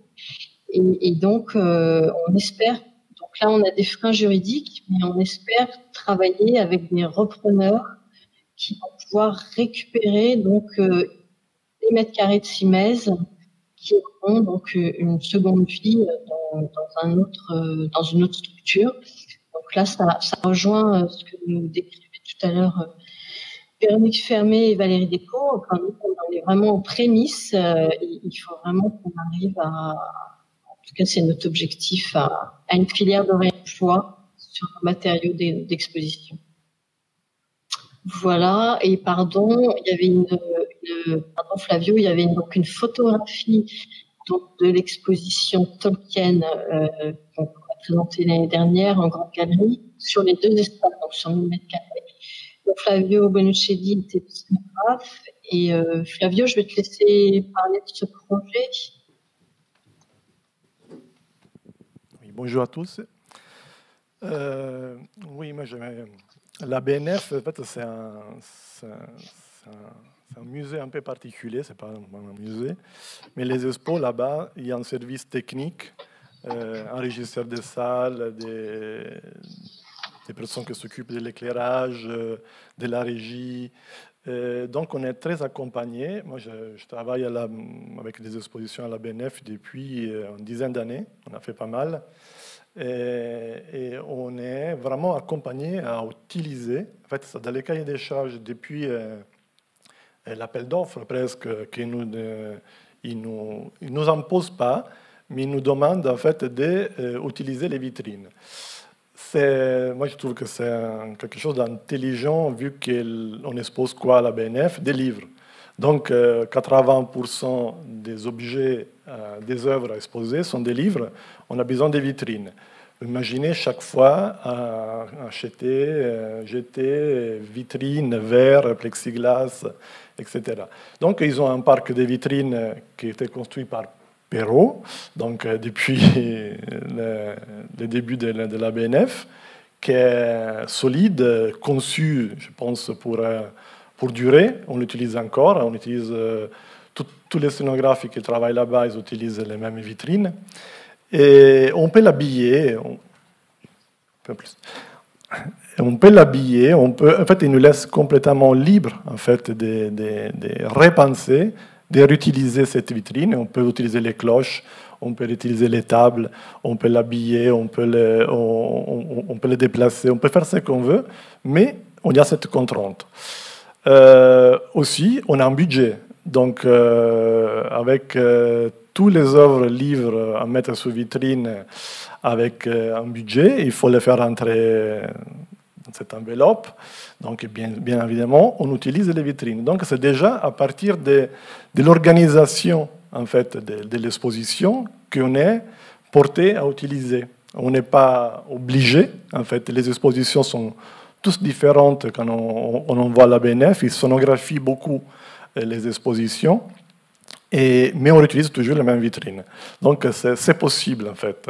Euh, je pense aussi euh, accompagner les scénographes euh, avec un support technique qui est derrière, qui derrière nous, en fait. Après, je ne sais pas, sous, sous, Tolkien, justement, on a réemployé tous les parcs vitrines, parce que c'était 1000, 1000 mètres carrés, plus ou moins. Et on a réutilisé aussi toutes les parois vertes qui étaient utilisées avant. Euh, même des verres qui étaient percés. À un certain moment, il y avait des trous. On a cherché avec, euh, avec la scénographie de, de, couvrir et pour utiliser vraiment tout ce qui est possible.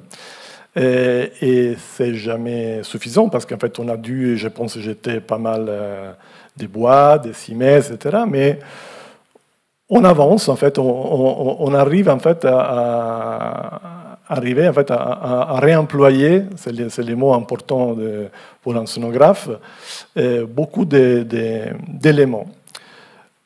Après, il y a d'autres exemples, je ne sais pas si je peux commencer à parler aussi de d'autres exemples pendant ma carrière, mais ça fait 15 ans que j'ai fait des scénons.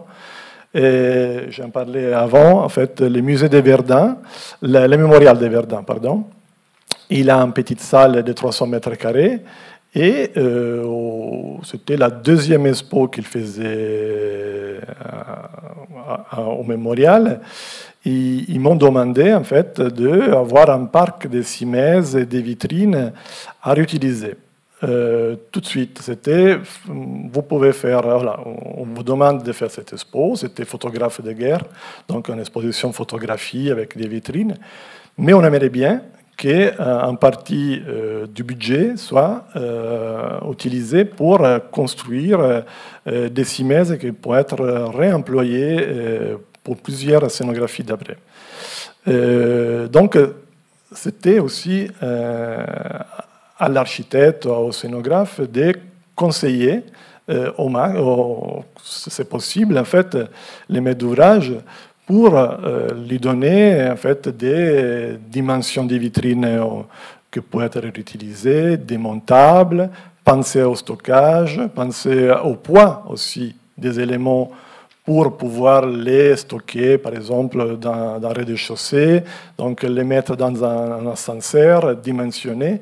Tout ça, c'est notre travail. Donc, euh, on a construit un parc de 15, euh, plus ou moins, c'est petit, c'est 300 mètres carrés, donc il y a une quinzaine de simèses démontables. Quand on parle de simèses, ce sont des parallélépipèdes hyper simples euh, euh qu'on peut déplacer avec un transpalette. Donc, ça n'empêche pas au, scénographe qui vient après, ou un, scénographe, de repenser, de réutiliser cette simèse comme un mur, en fait, comme quelque chose d'existant dans l'espace, et de construire euh, euh, avec des voiles, avec euh, des, murs courbes sous cette simèse, en fait, réemployer vraiment l'élément mur, en fait, que sont ces simèses. Et, ils ont fait, je pense, déjà depuis 4 ans, 8 ou 9 expositions avec cette simèse. Bien sûr, des fois, euh, avec la mille peintures, il faut, il faut rechanger l'enveloppe, on enlève les bois, on, on, réfléchit un peu, mais c'est ça en fait qu'il faut faire, je pense, dans ce sens-là, de la part des scénographes. Donc, faut, je pense que les, le maître d'ouvrage doit aider les scénographes avec un cahier des charges bien construit, avec une nomenclature, avec les éléments qu'on peut réutiliser ou réinventer. Ça, ça, ça, sont des mots aussi qui sont importants pour un scénographe, parce que c'est quelqu'un qui crée avec un, avec un commissaire euh, l'expo. Donc c'est important d'être libre d'imaginer ce qu'on veut, parce que c'est ça, la scénographie aussi, c'est réaménager un espace par rapport à une thématique, par rapport à, une volonté aussi du commissariat et du musée, et de, réutiliser certains éléments. Donc, euh, je pense toujours aux, vitrines, aux cloches, aux, aux cimaises, qui peut être imaginé dans milliards de façons différentes et réemployé différemment ou et comme on veut. Et cette simèse, de plus en plus, moi je, travaille aussi au musée des, Beaux-Arts de Lyon. Là aussi, ils ont un parc de simèses qu'ils utilisent. Euh, Louvre-Lens, euh, avec euh, mon ancienne agence euh, où j'ai travaillé à MAW, on avait fait, fait aussi un parc de simèses, je pense, une vingtaine de simèses à réutiliser. Donc, c'est quelque chose que ça commence à se faire. Et, je trouve que ça n'empêche pas au, scénographe d'avoir sa liberté d'expression. Voilà. Ça, je trouve que c'est important. Et c'est aussi, aussi cette idée de... Euh, on disait en fait avant que les scénographes, des fois, ils n'ont pas envie de, de réutiliser. Euh, j'ai des amis scénographes qui ne sont pas d'accord avec moi de réutiliser, de réfléchir à ça. Mais je pense qu'en fait, il faut qu'on accompagne aussi ça, on accompagne aussi le scénographe, on accompagne les maîtres d'ouvrage, les musées. Il doit imposer, entre guillemets, dans le sens euh, on a un budget, on a cet élément, faites-nous un expo. Après, c'est à vous de, rentrer dans un budget avec euh, au sein ou avec les, éléments que, nous, on vous donne. C'est mieux que si vous les utilisez les utiliser. Donc voilà, c'est ça que je veux dire. le scénographe, il a, il a envie de créer, mais on a des contraintes comme tout, comme tout le monde. On a une salle euh, dans laquelle on va s'installer, on a des œuvres à exposer, on a, on a une thématique et pourquoi pas avoir aussi des éléments à réemployer. Voilà, je trouve que ce n'est pas euh, non plus difficile pour un scénographe d'arriver à réemployer certains éléments. Merci. Euh, moi, je voulais juste revenir, Anne, sur euh, la gestion du parc des vitrines, parce que ça m'intéresse. Qui, mhm. qui s'en occupe? Comment euh, Quelle charge de travail ça lui demande? Comment vous faites quand une vitrine part sur une expo? Comment est-ce que vous gérez Alors, c'est vrai que c'est quand même une gestion qui nécessite du personnel. On a, en fait, Flavio le disait tout à l'heure, deux personnes qui de la régie, alors pas régie des œuvres, hein, régie générale, régie technique. Et donc, euh, on a des espaces de stockage qui nous permettent de stocker un parc d'environ 60-70 vitrines qu'on utilise donc pour nos différentes expositions et euh, dont on donne le descriptif au, scénographe euh, lors de la consultation pour la scénographie. Il y a beaucoup de manipulations, évidemment, mais malgré tout, on fait des économies en termes de matériaux, en termes de construction. On a alors euh, nos vitrines, elles sont constituées d'une ossature en bois et de capots en verre, sont donc des capots de différentes hauteurs, qui permettent de régler euh, la mise en place d'un manuscrit avec euh, une reliure très importante, un petit imprimé de petite dimension qui, sera très bien sous un capot de 20 cm. Mais on a donc quand même une modularité sur ce parc vitrine, puisqu'on peut jouer sur différentes dimensions de vitrine. On a trois tailles différentes et euh, différentes dimensions des capots. On a aussi trois tailles différentes de capots.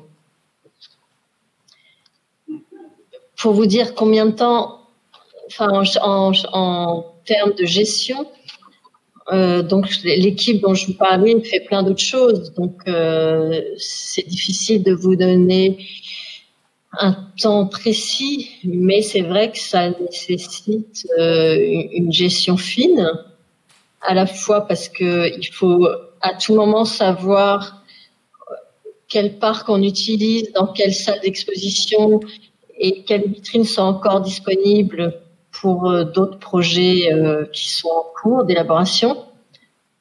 Mais donc c'est cette équipe donc de la régie générale qui gère le parc. De même qui gère aussi le parc des projecteurs et des équipements audiovisuels. Fait ce choix la BNF de ne pas faire de location. Donc on gère un parc projecteur, euh, écran et système de diffusion audiovisuelle. Ok, merci. Euh, ben, on va enchaîner peut-être euh, avec la réserve des arts, si Louisanne et Paul peuvent nous en parler un peu. Et je vous en prie, allez-y. je crois qu'il y a une vidéo normalement. Ah oui, c'est vrai, il y a une vidéo. Est-ce qu'on peut lancer la vidéo, s'il vous plaît? C'est une vidéo qui n'a pas de son, non Non, c'est une vidéo qui n'a pas de son, donc le but c'est que je parle. J'en profite pour un peu mieux présenter Paul, qui a une formation d'architecte et de scénographe à la base et que j'ai dérobé, emprunté au MUSEM euh, il y a un an exactement. Euh, donc c'est bien, on boucle la boucle. Euh, donc pour représenter brièvement la Réserve des Arts, c'est une association qui a été effectivement fondée en 2008, euh, qui a pour euh, raison d'être de réduire l'empreinte carbone du secteur culturel et qui a pour mission d'accompagner les professionnels de la culture, de la création et de l'artisanat à s'approprier les bonnes pratiques de l'économie circulaire et du réemploi. Euh, très concrètement, comment ça se passe? Aujourd'hui, on a trois antennes. Donc, une, petite boutique qui est dans le 14e à Port-de-Vanves, en Ile-de-France. Euh, un gros entrepôt qui fait 3000 euh, m2 à Pantin et depuis le 2 septembre, une antenne à Marseille euh, qui fait effectivement 850 m2. en gros, on va répondre à l'ensemble des besoins de ces professionnels et étudiants de la création. Donc ça va être de la matière première qui est issue de la récupération auprès d'entreprises et de structures culturelles du territoire. Ça va être un gros volet sur la formation euh, autour de l'éco-conception, euh, les métiers de la main, l'artisanat, euh, et avec toujours ce vrai volet autour du réemploi. Ça va être des ateliers, donc des espaces de travail pour travailler au cœur de nos matériaux, pour faciliter ce geste de réemploi. Et le dernier volet qui va être euh, des opportunités de travail. Donc ça peut être à la fois sur du recrutement en interne, mais aussi des missions, euh, donc soit les missions de collecte dans les structures partenaires, soit du team building entreprise, euh, des des, enfin, tous les projets qu'on peut porter. Et c'est enfin, c'est là que je veux aller. En gros, depuis ce matin, on a relevé beaucoup de freins. la question du coût, enfin, des coûts de manière générale, la question des équipes, puisqu'effectivement, le réemploi, c'est du temps. et le temps, c'est des gens.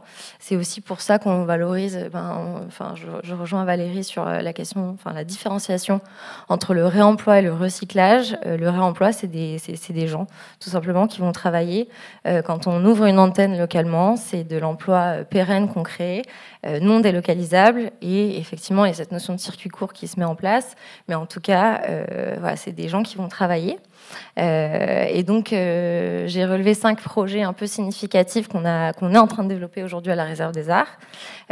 donc, sur l'antenne marseillaise, je remercie chaleureusement le MUSEM de nous inviter aujourd'hui, mais aussi d'avoir été notre premier partenaire sur le territoire. Euh, donc en trois gros projets de démontage d'exposition, on a valorisé plus de 16 tonnes de matières premières. Donc c'est beaucoup pour une petite antenne locale, mais c'est chouette, ça, montre qu'il y a plein de besoins et plein de possibilités pour la région sud de manière générale. Donc euh, il y a deux, trois matériaux que vous devriez reconnaître. Euh, il y a un projet, alors je sors un tout petit peu des musées, euh, mais j'en parle parce que je pense que c'est intéressant avec le théâtre de l'Aquarium. Donc là, je retourne en, Ile-de-France. Eux, ils, ils produisent énormément de rebuts en interne. Aujourd'hui, on les accompagne à développer leur propre matériothèque, leur sorte de mini réserve des arts. Euh, ils ont un Fab Lab, ils ont des résidents, ils ont des matériaux. Et donc l'idée, c'est que les démarches d'économie circulaire se mettent en place euh, au sein de leur structure. Il s'avère qu'ils ont un peu de chance, ils ont un peu de stockage, euh, ce qui n'est pas le cas de tout le monde. Et ça m'amène au projet suivant, qui est le projet en lien avec la réserve des arts est incubée au CMN. Et donc en partenariat avec eux, on est en train de les accompagner au développement de l'éco-conception et plus particulièrement à ces questions de fameuses plateformes logistiques de réemploi, donc euh, ces lieux de stockage que vous n'avez pas et ces compétences qui sont compliquées à trouver sur comment on gère des stocks, comment on crée nos fameux catalogues. Donc aujourd'hui, la réserve des arts n'est plus gestionnaire de déchets, par exemple, chez eux. On agit vraiment en tant que gestionnaire de sites de stockage. Euh, c'est une proposition que, par exemple, j'ai évoquée au MUSEM, puisque la question s'est posée à un moment, de dire, en fait, on crée des plateformes de mutualisation qui sont des plateformes physiques donc là, on, est en train de développer ce projet pilote. Euh, un projet euh, auquel on a participé, c'était la rédaction d'un marché public pour le musée des Confluences à Lyon. Ils ont fait un super projet et j'en parle parce que je trouve ça hyper intéressant. Alors voilà, avec toutes les questions que ça pose et les problématiques peut-être que vous avez que moi je vois pas trop, mais en gros ils ont proposé, un marché dédié au démontage et au réemploi. C'est-à-dire que, euh, enfin voilà, ça a été, la, scénographie a été construite par euh, une entité A, euh, et pendant l'exposition, un marché public a été ouvert. Donc vous pouvez aller visiter l'exposition et répondre en proposant nos services de démontage et de valorisation, avec un gros gros volet sur le réemploi et une toute petite part de recyclage et évidemment de déchets ultimes. Mais bon, favoriser ces démarches-là, c'est hyper intéressant parce qu'en fait, quand on démonte et qu'on est connaisseurs dans ces métiers-là. Ça permet d'optimiser euh, bah, le réemploi. Euh, voilà, les images qu'on a vues à la BNF, par exemple, euh, bah, malheureusement, nous, on peut difficilement intervenir quand, quand c'est démonté ainsi. donc, je trouvais la démarche du marché public hyper intéressante. Et la dernière, c'est le MNHN, donc le, muséum, qui est adhérent de la réserve des arts.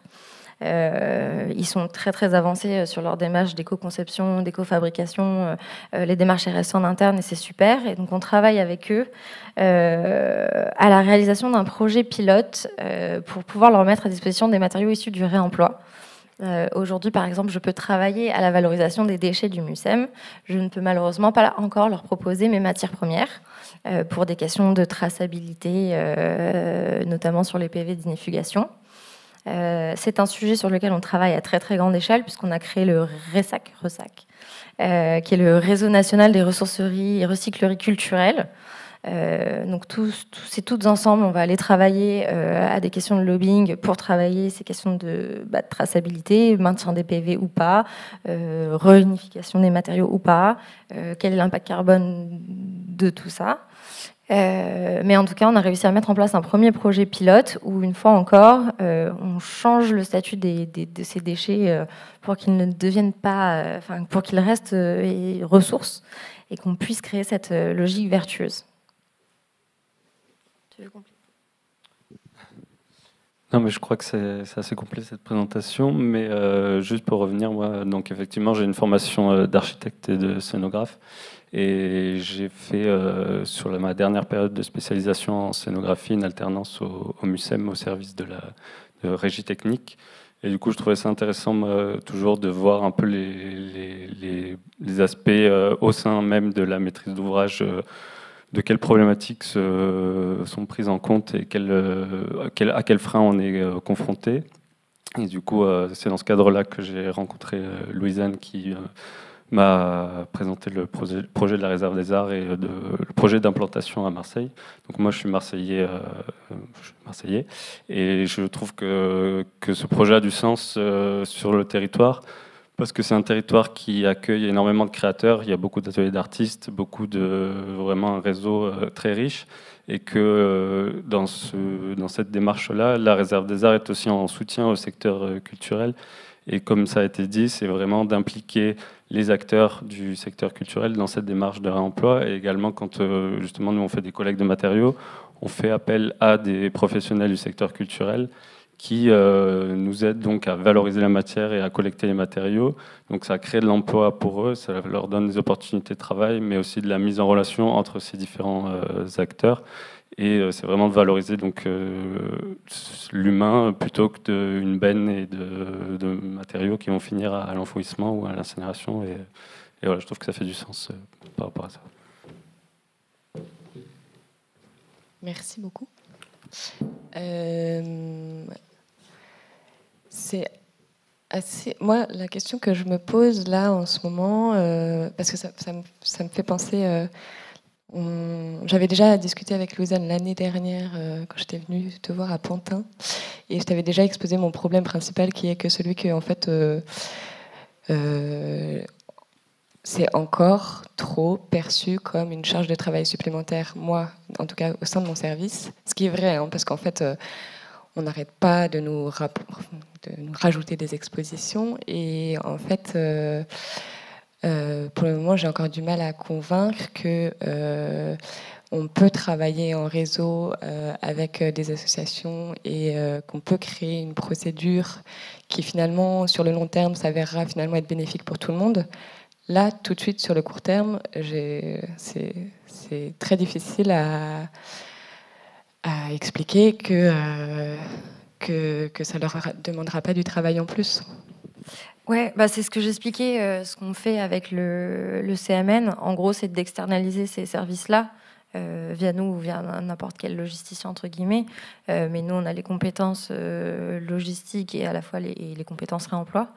Euh, donc l'idée, c'est de, Enfin, la réserve des arts, c'est un outil qui a été créé par et pour la culture. Donc l'idée, c'est que la culture s'en empare euh, le plus possible. Euh, repenser.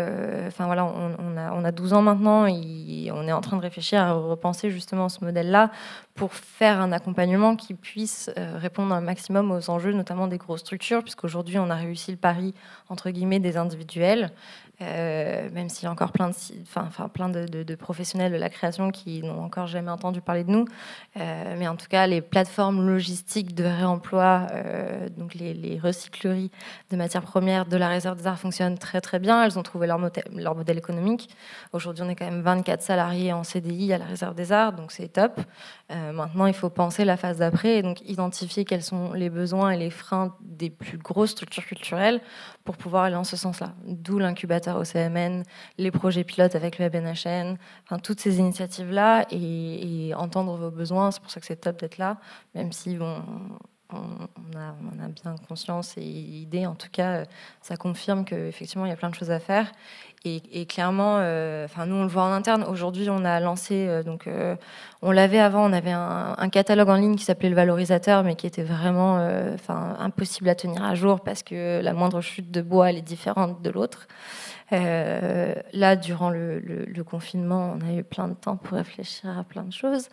Et du coup, on a développé ce, volet-là, donc du valorisateur, qui est une sorte de plateforme de précommande en ligne, euh, pas de vente parce que parce qu'en fait c'est impossible. Chaque planche de bois est différente. Euh, il y a une éraflure sur telle vitrine et pas sur telle autre. donc c'est plutôt de, de, prévisualiser en gros les stocks sur l'ensemble de nos antennes. mais l'idée c'est de pouvoir apporter ces compétences-là. Mais nous, quand on voit le temps que ça nous a mis pour réinventorier ce qu'on avait dans nos stocks, on sait très bien que c'est impossible pour une structure culturelle de le faire seul en interne parce qu'il faut non seulement développer les compétences, et en plus derrière enfin voilà, euh, trouver l'échappatoire, l'exutoire de la matière première. Donc l'idée c'est vraiment de pouvoir nous accompagner les structures. Ok, merci. On me dit dans l'oreillette qu'il est bientôt 16h et que euh, euh, Gilles, est-ce que vous pouvez nous parler d'Art Sud, s'il vous plaît? Ouais. Bon, prenez votre temps quand même. leur passe en rapide. merci beaucoup, Gilles Pagès euh, d'Art Sud, euh, qui, comme euh, vous l'avez dit, est la fusion de la régie culturelle, qui est historiquement un parc de matériel, un, outil de la région Sud, un parc de matériel destiné au spectacle vivant, dirigé par Laurent Genre, et l'Arcade, qui est une structure, l'agence régionale, une structure dite d'ingénierie culturelle, qui est plutôt là pour accompagner les professionnels avec tout un volet de formation professionnelle, d'ateliers on va dire, de, d'accompagnement des transformations et des mutations nécessaires euh, des pratiques et des usages, euh, et un pôle euh, ressources sous la responsabilité de Magali Blin. Et donc l'arcade, effectivement, a changé de direction avec l'arrivée de Nathalie Anton il y a déjà trois ans. Et ces deux structures ont fusionné dès janvier pour créer donc Art Sud. Mais Art Sud, effectivement, préserve l'intégralité des missions historiques de la régie et de l'arcade. Il s'agit d'une fusion des activités. Et le, nouveau vaisseau, le nouveau navire lancé depuis janvier. Euh, alors, moi, je, vous entends, c'est hyper intéressant. Je vais vous parler à l'endroit du spectacle vivant, puisque nous sommes vraiment destinés à accompagner le secteur culturel, mais particulièrement la filière, les professionnels du spectacle vivant. Et j'avais, par rapport à tout ce qui a été évoqué, euh, il y a des mots qui résonnent euh, en nous énormément. Euh, notamment dans aujourd'hui ces enjeux de faire, de faire différemment, en tout cas euh, d'essayer, euh, encore une fois, de, vraiment considérer les métamorphoses nécessaires du monde et de nos métiers, de nos filières auxquelles nous sommes de fait, confrontés. Donc je, voulais vous, voilà, je vais vous exposer plutôt une expérience, pas du tout une expertise, mais plutôt une expérience. la première sur la question de la réemploi. Euh, on, a une grosse réflexion parce que nous accompagnons des artistes de spectacles vivants, des compagnies, des groupes de musique. On se pose beaucoup la question du cycle de vie des œuvres. Parce que déjà, euh, avant de peut-être envisager, euh, et c'est hyper important d'envisager bien évidemment le réemploi ou le recyclage de matériaux, se pose déjà une question parfois dans notre filière qui est la durée de vie des œuvres. Lorsque parfois un spectacle peut être créé, monté pour un certain nombre de jours, potentiellement assez court, un certain nombre de représentations avec toute la difficulté qu'ont aujourd'hui les compagnies. Et la crise qu'on vit, euh, c'est catastrophique. Hein. Là, le cycle de vie, euh, on parle parfois de concepts, euh, on dit est-ce que les œuvres deviennent des œuvres jetables? Vous voyez ce que ça veut dire? C'est-à-dire qu'on voit le cycle de vie des créations se réduire énormément. Donc il y a aussi une réflexion à mener à l'endroit même de l'acte de création. Et aujourd'hui, de toute façon, je pense que c'est le moment de se réinterroger sur la normalisation de notre filière, qui était dans une logique de la surenchère de la création en permanence, avec d'ailleurs euh, plein de dispositifs qui poussent à cette surenchère. Il faut tout le temps créer pour produire, pour euh, exploiter, pour diffuser, et on est euh, perpétuellement dans cette quête-là. Alors là, on a un petit coup d'arrêt dans cette, dans cette logique-là, peut-être pas forcément vertueuse, mais qui nous pose la question de, d'une part, est-ce que les œuvres peuvent être adaptables, faire un peu du crossover sur le répertoire, c'est-à-dire est-ce que un spectacle pensé, créé pour être accueilli dans un théâtre municipal ou une scène nationale ou un festival, peu importe, a-t-il en même temps, dès le départ, à la genèse même de l'acte de création, la capacité à être pensé dans un format d'une micro-jauge, un tout petit lieu, un lieu en zone rurale, enfin, c'est pas moi. Ah si, c'est le micro.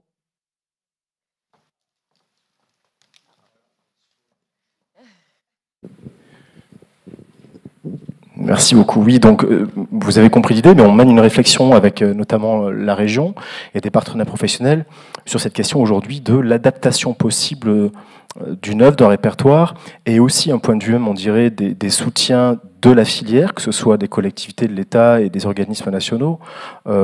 Qu'est-ce qui vaut en termes de réseau? Qu'est-ce qui vaut en termes de réseau? Est-ce que toute diffusion est valable? Est-ce qu'une petite diffusion dans un territoire complètement isolé, en exploitant au sens positif du terme un patrimoine naturel, vaut autant qu'une diffusion dans la grande scène devant un certain nombre de personnes? Donc ça, c'est une réflexion qui est en cours euh, et qui, à mon avis, est, nécessaire d'être approfondie, d'être creusée, d'autant plus par les temps qui courent. De toute façon, là, aujourd'hui, euh, euh, se dire, voilà, le dur métier de la chargée de diffusion ou du chargé de diffusion qui décroche son téléphone, c'est pas le moment. Quoi. alors, deuxième expérience dont on voulait vous parler, toujours dans cette idée et cet enjeu de accompagner la métamorphose du monde, c'est un peu euh, ambitieux, mais en tout cas, il y a une vraie intention de la part des acteurs culturels du spectacle vivant euh, qui considèrent plus que jamais les enjeux d'aujourd'hui.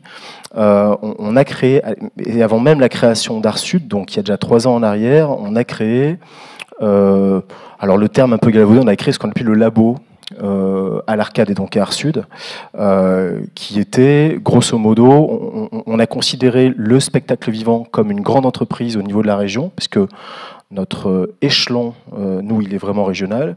Et on s'est dit que ce qui manquait peut-être euh, à l'ensemble des acteurs euh, réunis dans cette grande filière du spectacle vivant, c'était un espace de RD, d'innovation, de recherche et de développement. Mais penser sur un enjeu de filière, parce que bien évidemment, l'innovation, et vous l'avez dit, elle est partout. Euh, on n'a pas attendu euh, notre labo pour que des acteurs coopèrent, mutualisent, essaient d'inventer, de chercher des solutions. Et bien souvent, et ça c'est une bonne réflexion à mener, euh, quand on n'a pas trop les moyens, on est un peu obligé d'être inventif. Quoi. Donc, l'un n'empêche pas l'autre, hein. mais bien souvent, c'est là où ça permet plus d'agilité, on va dire. donc on a créé ce Labo Pro, on a réuni une centaine de participants, des directeurs de festivals, des directeurs de lieux, de salles de spectacle, euh, et on leur a proposé un temps suspendu, je pourrais dire ça comme ça.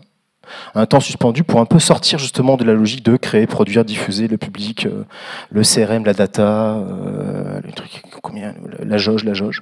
un temps suspendu pour leur permettre de penser un peu différemment l'avenir du secteur du spectacle vivant et peut-être un peu l'avenir du monde. Donc d'essayer de les inviter à penser différemment. Ce temps suspendu, nous, on ne savait pas le faire. On avait éventuellement une connaissance des enjeux euh, culturels, euh, du développement territorial, mais il a fallu, pour que cette démarche d'innovation, dans une forme vraiment de travail collectif prenne, il a fallu qu'on se fasse accompagner par des inspirants, par des guides que nous sommes allés chercher. Et ça a été un choix dès le départ d'aller chercher des inspirants qui venaient pas du tout, du tout, du tout, du tout du secteur, en tout cas du spectacle vivant. Je pense qu'ils sont vraiment par contre dans la culture, ça c'est évident. Donc on est allé euh, s'associer avec un laboratoire euh, qui travaille sur le biomimétisme, euh, donc qui travaille sur la permaculture et le biomimétisme, pour reprendre le terme plus actuel, qui est implanté à Marseille, qui s'appelle Picaya. Et on s'est vite rendu compte que toute l'analyse que ce laboratoire, cette entreprise, euh, enfin tous les grands principes du vivant, ce sont des valeurs euh, qui rejoignent exactement les acteurs du spectacle vivant. On parle d'enjeux de, coopération, d'enjeux de diversité, euh, d'enjeux d'éthique, d'enjeux de développement durable. Bon, donc on, a pris en tout cas ces témoignages de Picaya pour nous inspirer dans nos démarches du laboratoire. Et deuxième partenaire que nous sommes allés chercher, parce que nous voulions dès le départ ne pas tomber dans la collapsologie ambiante, de dire euh, tout est vécu par la contrainte, on va pas y arriver, c'est pas possible. On, est allé travailler avec l'Institut des futurs souhaitables à Paris, euh, qui font de la prospective heureuse et bienveillante et souhaitable. Et ils nous ont apporté un bol d'oxygène parce que, en tout cas, grâce aussi à leur rapport en termes de méthodologie dans cette idée d'intelligence collective, euh, ils nous ont un peu aidé à nous dire qu'on peut s'emparer de nous-mêmes, notre propre histoire et de, euh, du futur qu'on a envie de créer nous-mêmes à notre échelle. Bien évidemment qu'il y a des choses qu'on ne maîtrisera pas. Bien évidemment, il y a des choses qu'on va subir, euh, mais il y a peut-être des freins à, à dépasser. Et au-delà des contraintes, on a vraiment capacité à un niveau sectoriel d'envisager ce futur souhaitable. Donc on a été vraiment inspiré et guidé avec des vrais outils d'intelligence collective pour mettre, partager déjà des idées. Donc on a réemployé nos idées et on, a essayé de faire preuve de créativité. Pour le secteur culturel, c'est un bon départ. En tout cas, c'est une belle mise au défi. Euh, et on a comme ça travaillé sur des prototypes de services, d'actions, de futurs souhaitables et soutenables qu'on souhaiterait voir émerger collectivement en région sud. et il y a comme ça des prototypes très concrets qui, sont, qui ont été produits par ces 100 membres de notre labo. Alors je ne vais pas vous les livrer, mais en tout cas, il y avait peut-être l'idée d'un, enfin il est là d'ailleurs, un, prototype qui serait de créer un, fonds de dotation à l'échelle du territoire de la région, parce que ça fait très longtemps qu'on parle du financement privé à l'échelle du secteur, mais il y a des initiatives à l'endroit des organisations, euh, mais à un niveau plus global, c'est très compliqué. Euh, on a travaillé sur des questions euh, de management éthique au sein de nos entreprises. Qu'est-ce que ça veut dire qu'être éthique aujourd'hui et responsable au sein d'une organisation? Alors ça traverse plein de sujets qu'on connaît déjà, les valeurs, les manières de fonctionner en intra, en interne. On a pris la métaphore de l'arbre dans la forêt. Chaque organisation peut être une petite plante ou un beau chêne, peu importe au sein d'un écosystème bien plus large, euh, avec forcément des interrelations qui sont de l'ordre du vivant. Euh, ça aboutit à une formation-action d'ailleurs que nous allons mettre en place en 2021 qui s'appellera euh, Résilience, rebond et transformation des organisations. Bref, voilà. Et ce labo continue cette année et depuis janvier, alors, j'ai pas encore les résultats, mais nous travaillons sur l'enjeu écologique et sur l'enjeu du développement durable, euh, en essayant justement de pas prendre euh, la question des enjeux écologiques par la contrainte, par c'est cher, ça va être compliqué, euh, mais plutôt par, euh, en tout cas, l'idée de, de, prendre la contrainte et de déjà la transformer en désir. Qu'est-ce qu'on peut déjà, encore une fois, projeter, d'où l'Institut des futurs souhaitables, qui est hyper important, selon nous, comment se projeter à l'horizon de N plus 5, N plus 10. Eux, ils sont en 2040, hein, l'Institut des futurs souhaitables. Quand on leur parle, ils nous disent... Euh, ah, vous êtes encore en 2020 bah, Nous, déjà, on a franchi des étapes. Hein. donc, c'est assez intéressant de se côtoyer à leur analyse. Et, voilà en tout cas où on en est. On, est dans ce laboratoire et, je voulais insister sur la question de finalement, une fois que j'ai dit tout ça dans mon exercice de présentation, euh, je pense que la méthode y joue pour beaucoup. Voilà, c'était ça un peu que je voulais évoquer. Dans ces questions du réemploi, du recyclage, les outils sont primordiaux. Sans les outils, sans les plateformes, bien évidemment, on va, avoir beaucoup de mal à franchir certains freins euh, et, à, avancer. Mais je pense que la méthodologie pour tenter de donner du désir, de l'envie, euh, d'expliquer et de faire en sorte que de façon euh, collective, on peut vraiment s'engager dans la coopération d'idées au service d'un projet plus global, je pense qu'en tout cas, il y a besoin de se pencher sur la méthode. Voilà. Dans les grandes lignes, pour aller vite. Bien. Bravo. Merci. juste avant de passer aux questions de la salle, est-ce qu'Olivier, vous voulez parler peut-être de votre expérience au musée dauphinois ou... Ah bah oui Merci. Je n'ai pas parlé du musée dauphinois. Euh, en fait, le musée dauphinois a une démarche euh, très empirique dans le domaine de, l'écho, on va dire, euh, qui a commencé dans les années 70. Donc c'est quand même intéressant parce qu'on est dans de l'archéologie un peu scénographique avec à l'époque Jean-Pierre Laurent, qui est donc directeur du musée dauphinois, qui à une époque où il y avait sans doute plus de moyens euh, donner euh, à cette euh, structure, encore qu'aujourd'hui on n'est pas à plaindre, en tout cas obtient des moyens importants pour internaliser des compétences et mettre en place des ateliers de, production, très concrètement dans le domaine de la menuiserie, peinture, métallerie, etc. Tous les corps d'État qui permettent de faire une exposition, pas tous, mais une grande partie. Dans les années 70, hein, on n'était pas à l'ère du numérique, bien sûr. Et, donc, euh, au fil du temps, euh, parce que Jean-Pierre Laurent a décidé de mettre à bas tout ce qui était dans les espaces du musée à l'époque. C'est-à-dire hop, on fait table rase de tout ce qu'il y avait euh, et on part sur le principe d'une politique d'exposition temporaire un peu folle, dans laquelle nous sommes encore aujourd'hui avec cette cette frénésie hein, qu'on essaie de ralentir, euh, à la fois parce qu'on a envie, mais aussi parce que le public y répond, et puis parce que notre tutelle est bien contente, je le disais ce matin, d'avoir des bons chiffres de fréquentation, et je ne suis pas sûr qu'on en soit sorti, hélas, hélas.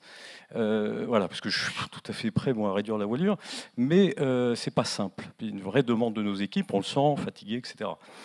Euh, mais à l'époque, donc, c'est la pratique politique d'exposition temporaire d'un site, si vous ne le connaissez pas, qui est situé sur les hauteurs de Grenoble, difficile d'accès, trois places de parking, 250 marches, ça se mérite de venir nous voir.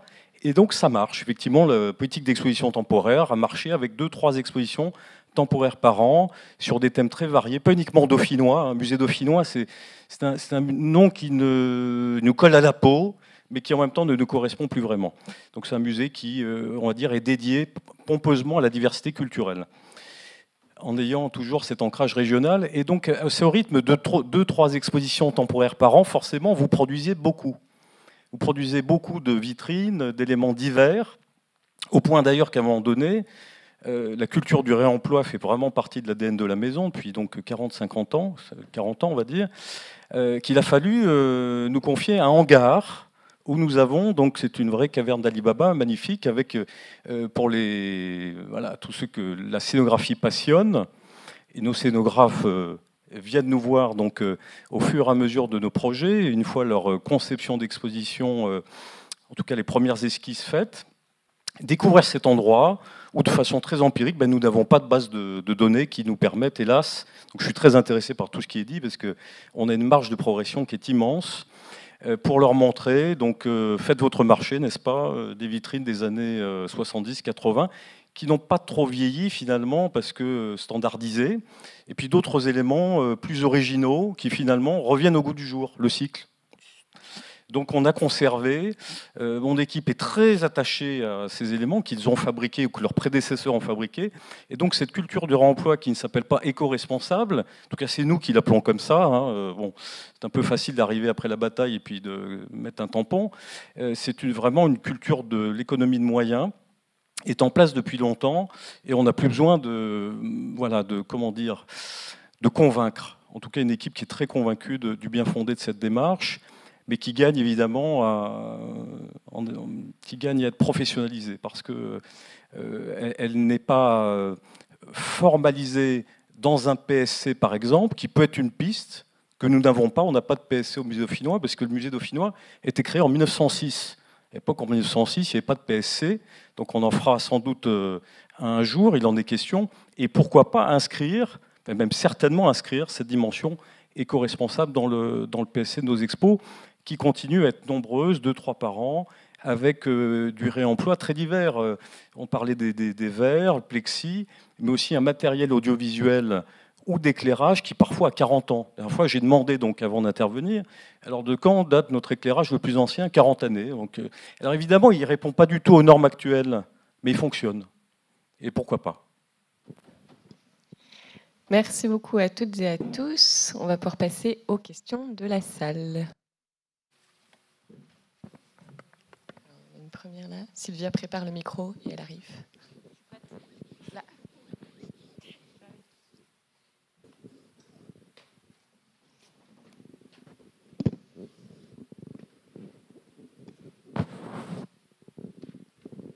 Merci. Vous m'entendez? Euh, Julien Le Goche, je suis architecte d'intérieur. Euh, désolé pour les prénoms. Ce que vient de dire le monsieur à la fin, j'ai trouvé ça très pertinent. C'est l'histoire des normes. En fait, il se retrouve avec un éclairage qui fonctionne, il est plus aux normes. Et c'est ça pour beaucoup de choses. Hein. Ça peut être euh, du carrelage, des choses toutes bêtes, des fenêtres. Enfin, voilà. Dans quelle mesure, finalement, on peut être hors la loi par rapport à ça et utiliser du matériel qui, bah, qui fonctionne et qui réparera peut-être aussi?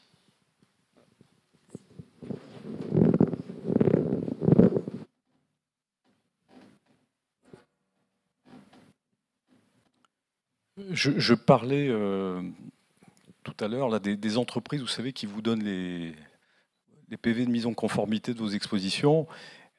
Elles font un tour rapide dans nos espaces, s'assurent que les blocs sécurité sont bien placés. Elles ne sont pas regardées à la loupe. Et c'est heureux tous les éléments qui constituent une exposition.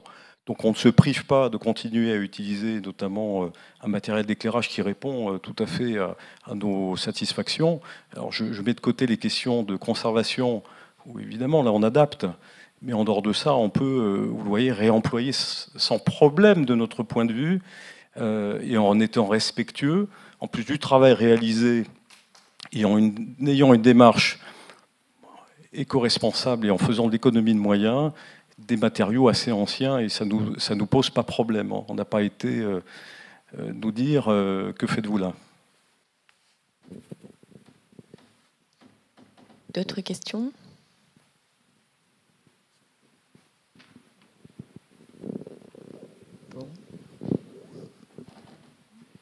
Non, bien sûr.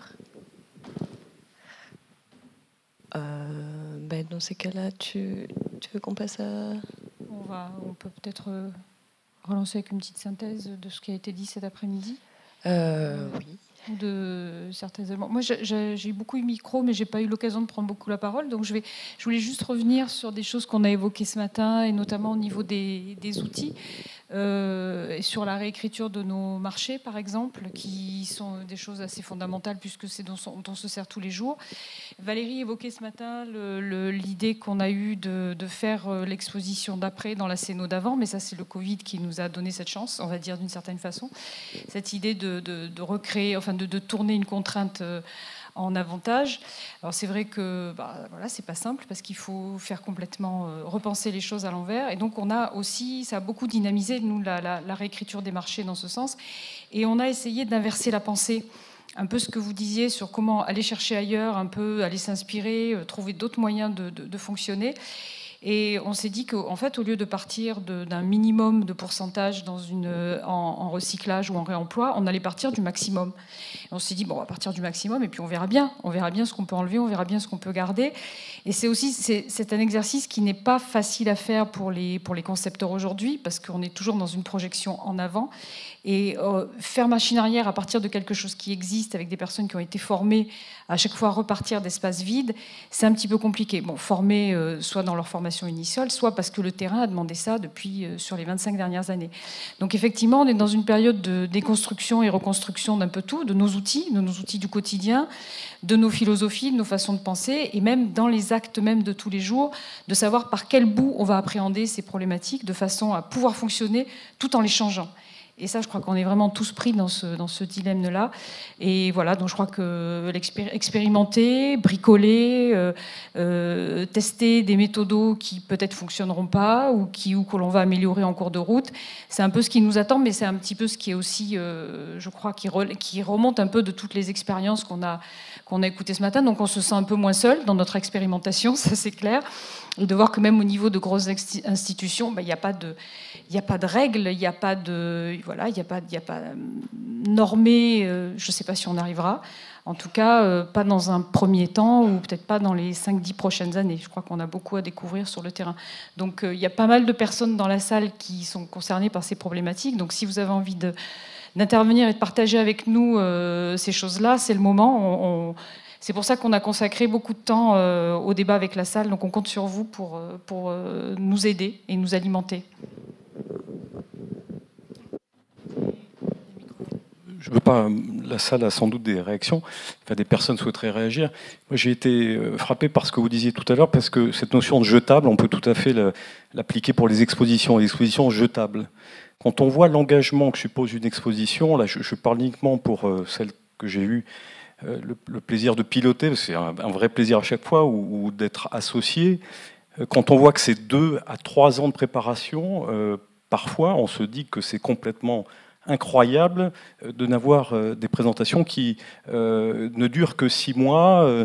Donc le, parti pris au musée des Dauphinois, parce que j'évoquais un rythme un peu quasi insoutenable pour les équipes, en tout cas extrêmement fort, de deux à trois expositions par an, qui n'étaient pas remplacées hein, pendant ce laps de temps. En fait, généralement, les expositions durent plus longtemps, un an, voire deux ans, et c'est la tendance aujourd'hui, hein, je ne sais pas, on peut en discuter ensemble, ce serait intéressant, de voir les temporalités de vos expositions, tant dans la conception, mais surtout dans la présentation au public, faisant le constat que le public n'est pas épuisé, c'est-à-dire qu'il est intéressé parfois d'y revenir à une exposition, et puis qu'on n'a pas fini de conquérir nos publics, euh, et que des temps de médiation euh, sont nécessaires aussi, que ces temps de médiation sont longs, pour aussi convaincre le public de venir voir une exposition.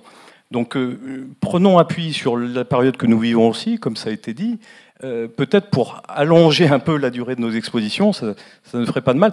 Après, il y a la question des œuvres, des collections, évidemment, qui ne peuvent pas être présentées euh, trop longtemps. Mais sans doute y a-t-il quand même des, possibilités aussi de ce point de vue à étudier. Oui, moi ça me fait plaisir d'entendre ça. Mais euh, en tout cas, sur euh, moi, euh, sur ma position de régisseur au musée d'Orsay, je ne vois pas encore d'évolution. et non seulement j'en vois pas, mais en plus, c'est l'inverse. Là, suite au Covid, on, a, on est en train de monter plusieurs expositions à la fois. On va en présenter cinq a priori cet automne en même temps, donc avec pas plus de moyens humains. Et, et moi, je me pose, donc je suis en train de me dire que il faut qu'on travaille autrement. Mais en fait, le problème, c'est que quand on nous rajoute des expositions avec les montages, les démontages, et euh, la période de stress que ça peut procurer. Euh, j'en parlais avec Flavio tout à l'heure. Parfois, en fait, on est tellement fatigué à la fin d'un démontage bah, c'est peut-être plus simple finalement que tout parte à la et puis qu'on n'en parle plus, puis que ce soit terminé. Mais du coup, c'est euh, c'est un problème qui est global. Il faut prendre aussi ça très en compte. il faut qu'on ralentisse le rythme, qu'on fasse moins, mieux plus longtemps. il y a quand même des expositions euh, de peinture qu'on peut faire plus de trois mois et demi. Euh, donc c'est une réflexion globale, vraiment, je pense qu'il faut, qu'il faut prendre.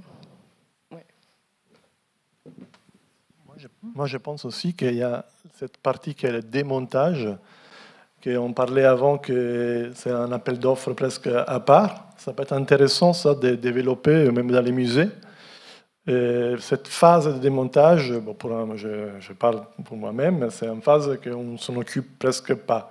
Dans le sens on, on, le donne aux entreprises, ceux qui se débrouillent, même les musées, ils n'interviennent pas énormément. Donc ça peut être intéressant euh, qu'on développe un peu plus cette phase-là, qu'on la, lève en fait de, de,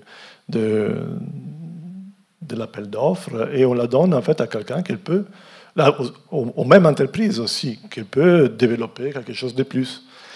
Je sais, mais je ne suis pas trop sûr, mais parce que j'ai fait qu'un concours et je ne l'ai pas gagné. Mais au centre Pompidou-Metz, en fait, il, il, euh, les démontages de l'exposition précédente est donné à l'entreprise de l'exposition qui suit. Donc, ils démontent et après ils construisent. Et c'est fait pour, en fait, s'il y a, c'est le scénographe qui vient après à envie de garder quelque chose, voilà, il n'est pas déjà démonté. on a encore les temps, on a encore la, possibilité, et l'entreprise, il, prend en charge euh, les chantiers, il les démonte sur le scénographe, il ne veut pas utiliser, mais il peut le réutiliser, certains éléments, et, je pense que c'est une bonne idée. Ça m'est venu quand, tu en as parlé, parce que je me suis toujours dit bah, pourquoi ils font ça En fait, oui, ils m'ont dit que c'était pour, l'utiliser. Moi, je ne voyais pas l'utilité. Finalement, c'est vrai qu'en discutant, ça pourrait être intéressant. Et cette phase, vraiment, c'est la phase mal aimée, parce que aussi, pour vous, c'est il faut penser déjà à la prochaine, euh, il faut aller vite. Euh, euh, quand on est scénographe aussi, on a envie de voir la salle vide. donc, et, puis les délais sont très courts aussi. Enfin, nous, quand, on démonte, quand, on doit démonter une expo, il faut la démonter le plus vite pour pouvoir remonter très, le plus vite possible aussi derrière. Donc en fait, enfin, c'est, oui, c'est un, un process qu'il faut, euh, qu'il faut essayer d'imaginer très en amont. Euh, mais ça demande à reprendre euh, tout notre processus de travail. En fait. Oui, parce qu'on fait très, on, soigne énormément les, montages, justement. On, met des semaines. Et les démontages, c'est vraiment quelque chose qu'on a, qu'ils font bien. Mais c'est en vitesse. Donc peut-être c'est cette phase-là, justement, qui peut être redonner à quelqu'un qui peut le réutiliser ou peut le recycler, ou, etc. pourquoi pas, ça me paraissait aussi une, solution intéressante. Euh, je voulais juste euh, intervenir euh, concernant justement l'anticipation. ça, c'était un problème qu'on avait hein, chez nous, au Festival d'Aix-en-Provence. C'était de dire dans 15 euh, jours, on, doit déstocker, on doit vider les entrepôts, il faut trouver une solution. C'était un peu la panique, effectivement, donc ça partait à la benne. Euh, donc on a essayé de réfléchir justement à euh, l'anticipation. Ça veut dire aussi, dès le départ et dès le moment où on reçoit donc les les maquettes euh, des scénographes, euh, réfléchir à comment on va le démanteler derrière euh, et qu'est-ce qu'on va en faire. c'est une contrainte supplémentaire pour le bureau d'études, effectivement, par rapport à toutes les contraintes qu'ils ont déjà. Mais c'est vrai que quand ils ont intégré ça à leur process de, conception, à leur réflexion, maintenant c'est devenu une habitude.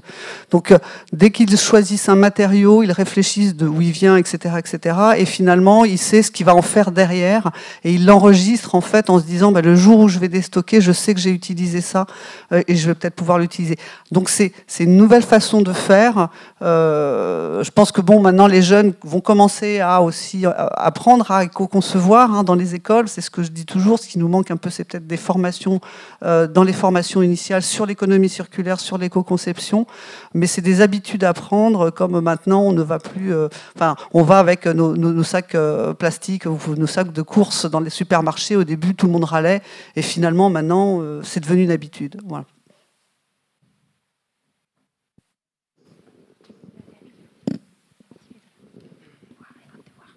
Il me voit là? Oui. oui, euh, juste une question pour, euh, puisque l'impulsion, elle vient quand même aussi du ministère de la Culture. Est-ce qu'il y a un label enfin, comme il peut y en avoir pour euh, la culture et le handicap, euh, la diversité, l'égalité. Est-ce qu'il y a un projet de développer un label d'éco-construction, de développement durable? Enfin, je ne sais pas comment ça pourrait s'appeler, mais est-ce que l'un d'entre vous le sait? Alors, moi, je connais juste une norme euh, ISO, voilà, sur l'éco-conception, qui, est intéressante.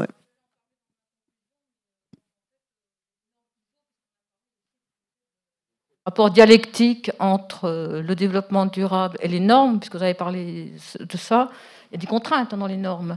Et euh, donc il y a une norme ISO là-dessus, sur l'éco-conception. Et au ministère de la Culture, il y a un référent pour le développement durable qui s'appelle Sylvia...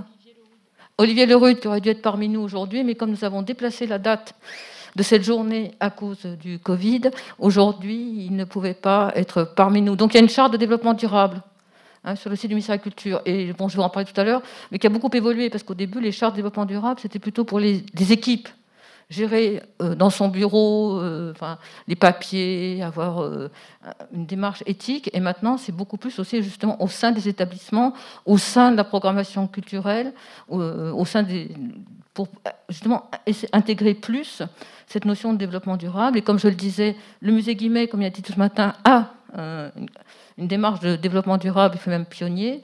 Et dans les projets scientifiques des musées, de plus en plus, on voit arriver cette notion de développement durable. Donc il y a bien une norme ISO. Hein. Moi, j'ai participé à des, à des, commissions au niveau européen pour les normes, AFNOR, ISO et CE, mais c'est chronophage. Hein.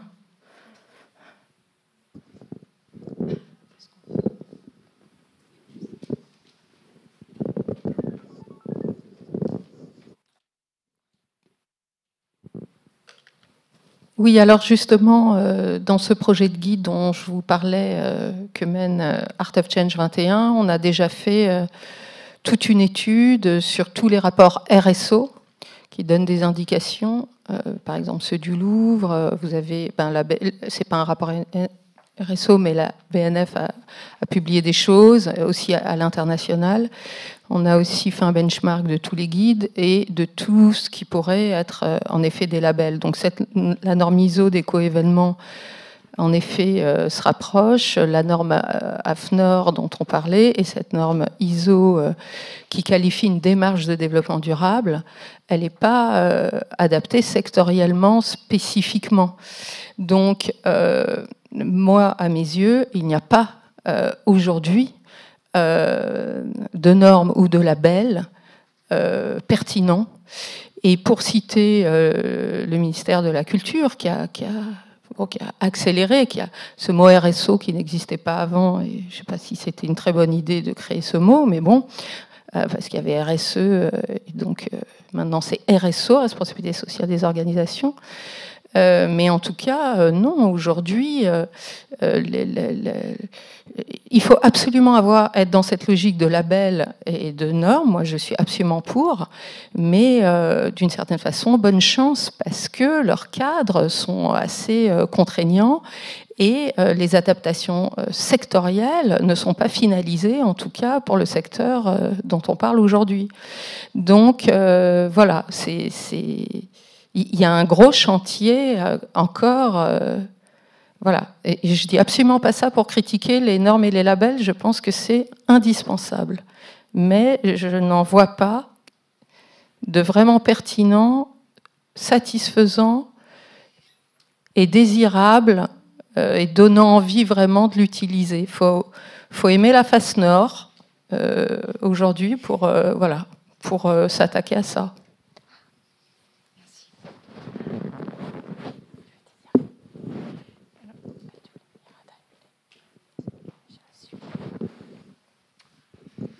Oui, bonjour, Olivier Donin, je suis le récent administrateur général du, du MUSEM, mais auparavant, je me suis occupé pendant pas mal d'années des expositions à Paris Musée.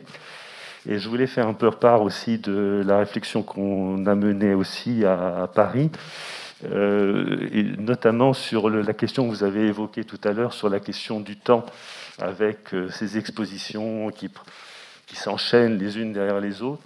Et c'est vrai que notre réflexion, ça a été aussi de plus en plus d'essayer de réfléchir en termes de programmation des expositions, comment articuler les expositions temporaires et les collections. Et ça, je crois que c'est un élément tout à fait essentiel qui peut mobiliser euh, la conservation, bien évidemment, au premier chef, mais aussi euh, tous les services, et aussi en termes de médiation, parce qu'on n'a pas tellement évoqué cette question-là euh, qui me paraît tout à fait essentielle, c'est-à-dire que tous les dispositifs de médiation qui coûtent souvent très cher, il faut aussi les concevoir en se disant comment on pourrait aussi les réintégrer dans les collections permanentes. Et je pense qu'il y a un, va-et-vient entre les deux, de la même manière que parfois on n'a pas les budgets. Il faut être très clair. Hein. À mon avis, il ne faut surtout pas opposer collection et exposition, parce que ce sont les expositions qui permettent d'obtenir des crédits dans les des ça parce que c'est un peu difficile de parler. Euh, c'est toujours les expositions qui permettent, aujourd'hui c'est ça, que ce soit l'État, que ce soit les collectivités locales, aujourd'hui c'est ce qui permet quand même d'obtenir les budgets dans nos musées, il faut, faut, quand même dire ce qui est, c'est la réalité. Et donc, en fait, les budgets qu'on obtient pour les expositions, il faut aussi qu'on se dise toujours comment on peut les réutiliser pour les collections permanentes de nos musées. Donc, les dispositifs de médiation, mais ça peut être aussi beaucoup d'œuvres qui, euh, parfois, n'étaient pas en bon état euh, dans nos collections et qui sont euh, restaurées à l'occasion d'exposition et ça permet d'enrichir aussi le, ben, le patrimoine, d'entretenir nos collections, de les documenter, de les numériser. Enfin voilà, tout ce, tout ce travail-là, tout ce budget que nous n'obtiendrons jamais, il faut être très clair, enfin je n'y crois pas trop en tout cas, si on restait simplement sur une activité purement entre guillemets de collection qui sont passionnants. Moi, c'est c'est une des raisons pour lesquelles je travaille dans ce secteur-là.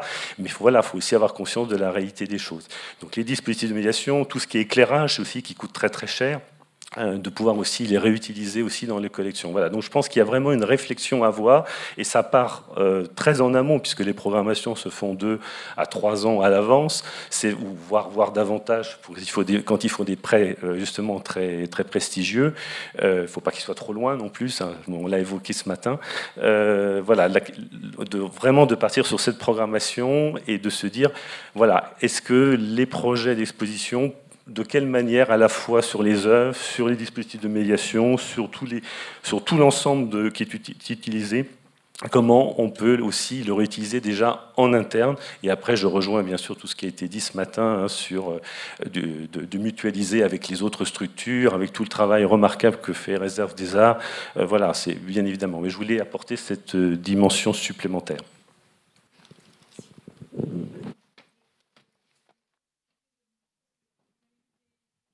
Ils sont arrivés par, euh, par YouTube. Donc il y en a une, euh, et c'est bien parce que cet après-midi, on fait vraiment euh, le grand écart entre toutes les questions éthiques, méthodologiques et voire idéologiques, et les questions très très pragmatiques. Donc il y avait une question pour vous, Anne, sur la gestion du, parc de vitrines, très concrètement au quotidien. Est-ce que vous avez mis en place un outil numérique particulier, enfin, ou un, logiciel? Est-ce que vous gérez ça euh, à la main, informatiquement? Est-ce que vous avez des marqueurs sur ces vitrines? Comment est-ce que, vous arrivez à fonctionner avec un parc de 70 vitrines et de jamais vous tromper, de toujours savoir où elles sont? Euh, Alors, je dis pas qu'on se trompe jamais. et c'est géré en fait sur un tableur Excel. Donc là, il y a une gestion très fine par le régisseur qui sait que euh, telle période, tant de vitrines dans telle exposition et il nous en reste tant dans l'espace de stockage. mais c'est vrai que ça prend, ça prend du temps. C'est améliorable hein, comme process. donc ça fonctionne. Vous n'avez pas besoin d'un système de code barre qui permet de savoir quelle vitrine est rentrée, quelle vitrine est sortie de l'espace de stockage. Non, pour l'instant, on arrive à gérer le parc euh, avec ce système qui est tout à fait euh, artisanal. très bon à savoir. très utile. Mais, mais c'est vrai que au-delà de 70, 70 c'est déjà beaucoup. Au-delà d'un parc plus important, certainement qu'il faut d'autres outils.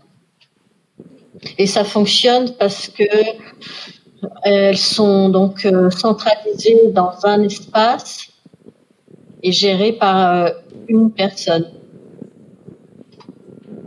Enfin, deux personnes, mais qui communiquent très étroitement l'une avec l'autre. Moi, je songeais à les intégrer dans notre base de données. Je vois euh, comment est-ce qu'on peut faire ça, parce que déjà, il faut qu'on s'occupe de nos cadres. Donc, les œuvres sont forcément prioritaires. oui. Mais du coup, je me disais que c'était peut-être une bonne solution. Mais euh, je vous en ferai part si, jamais j'y arrive euh, l'année prochaine. En tout cas, euh, puisque vous, vous me laissez la parole, donc on manque, je trouve, sur ces questions de recyclage, développement durable, amélioration de, de nos process, de plateformes d'échange, peut-être d'un annuaire aussi, des professionnels qui travaillent dans ces domaines. Moi, j'ai cherché sur Internet comme euh, tout le monde le fait. Et c'est jamais facile de trouver les informations. C'est assez chronophage. Donc, euh, moi, je serais très demandeuse d'une plateforme professionnelle d'échange euh, de bonnes procédures, d'idées. Voilà.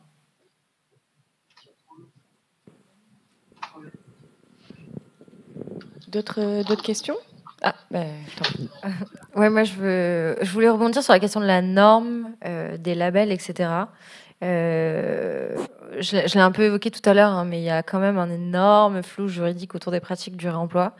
C'est bien comme ça peut être très mal, mais aujourd'hui c'est quand même aussi bien. Ça permet justement d'être dans le faire, d'expérimenter des choses. Euh, pour répondre à la question de, de Monsieur Lao, soyons un peu rebelles et soyons enfin, faut prendre les devants. Euh, sur la question des temps de travail, du temps que ça prend, je pense que l'intégralité des humains sur Terre travaille trop. Et c'est juste de savoir où est-ce qu'on a envie de mettre nos énergies et, nos, volontés de, de pratique. Et là, en l'occurrence, on parle de bonnes pratiques euh, sur les calculs de mesures d'impact. Enfin, même si on n'a pas des chiffres et des données, on se doute que ça fait du bien à la fois pour tout le monde, c'est-à-dire l'environnement et l'humain de manière générale.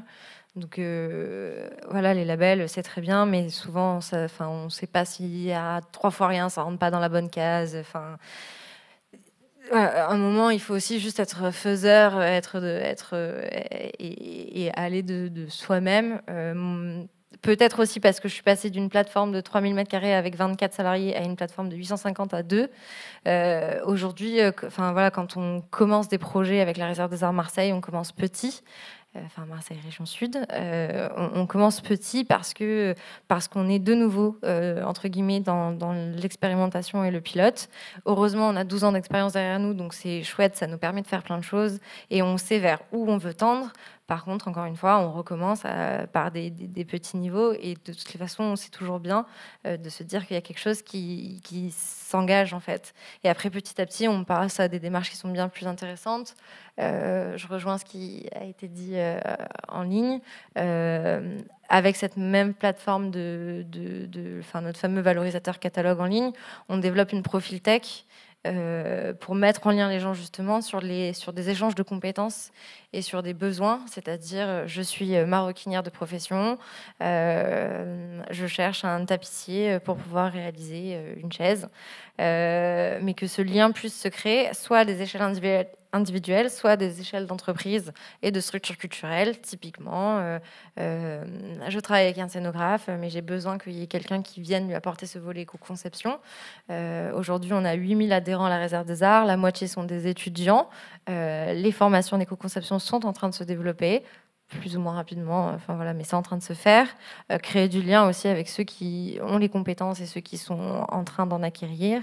Et, tout ça prend du temps, mais il faut, enfin, comme toujours, il faut commencer par quelque chose pour pouvoir avancer.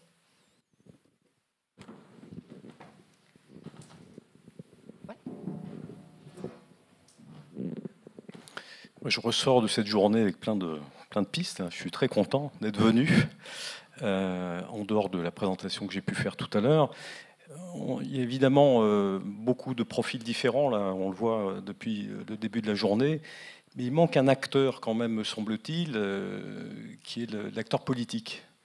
Et la dimension politique, elle est centrale dans les sujets qu'on évoque, là, évidemment. Et on parlait du contexte que nous vivons aujourd'hui et, des évolutions qu'on souhaiterait. Euh, on le sent bien, euh, on est quand même un peu habités, là, les uns et les autres. Pas besoin d'être convaincus là-dessus. Mais il est certain que les choses pourront bouger aussi s'il y a une évolution de ce point de vue une véritable inscription dans les politiques publiques, notamment culturelles. J'entendais le retour aux collections, moi je ne demande pas mieux, évidemment, de ne pas être dans l'action culturelle permanente, ce que nous faisons. J'entends mes collègues qui... Euh, euh, il y en a une dans la salle qui a cette responsabilité chez nous, de pouvoir revenir aussi à un traitement des collections qu'on a l'impression de négliger. C'est vrai, mais à un moment donné, je dirais que ça nous dépasse aussi un peu d'une certaine façon indépendamment de la bonne volonté qu'on peut y mettre et de notre engagement euh, personnel, professionnel. La sphère politique, ne l'oublions pas, parce qu'il lui appartient aussi d'imprimer quelque chose dans la période que nous vivons.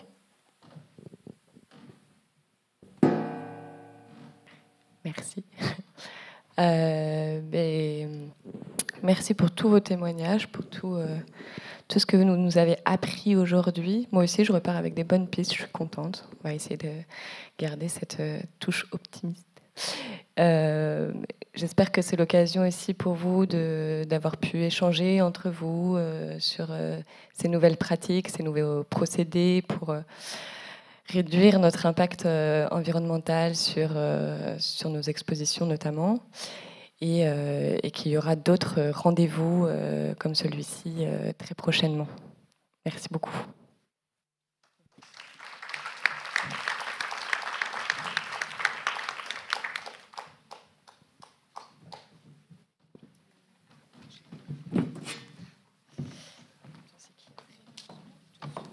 On va passer donc aux, conclusions de la journée avec Bénédicte Roland-Villemot qui nous a fait le plaisir à la fois de nous soutenir dans cette démarche d'organisation de la journée, puisque le SMF avait été précurseur déjà avec des, avec des rencontres à Paris l'année dernière au mois de janvier, et Olivier Donat, donc, euh, qui va la rejoindre pour, euh, pour compléter euh, à la fois cette synthèse et, cette, et les conclusions de cette journée, et peut-être de nouveaux rendez-vous.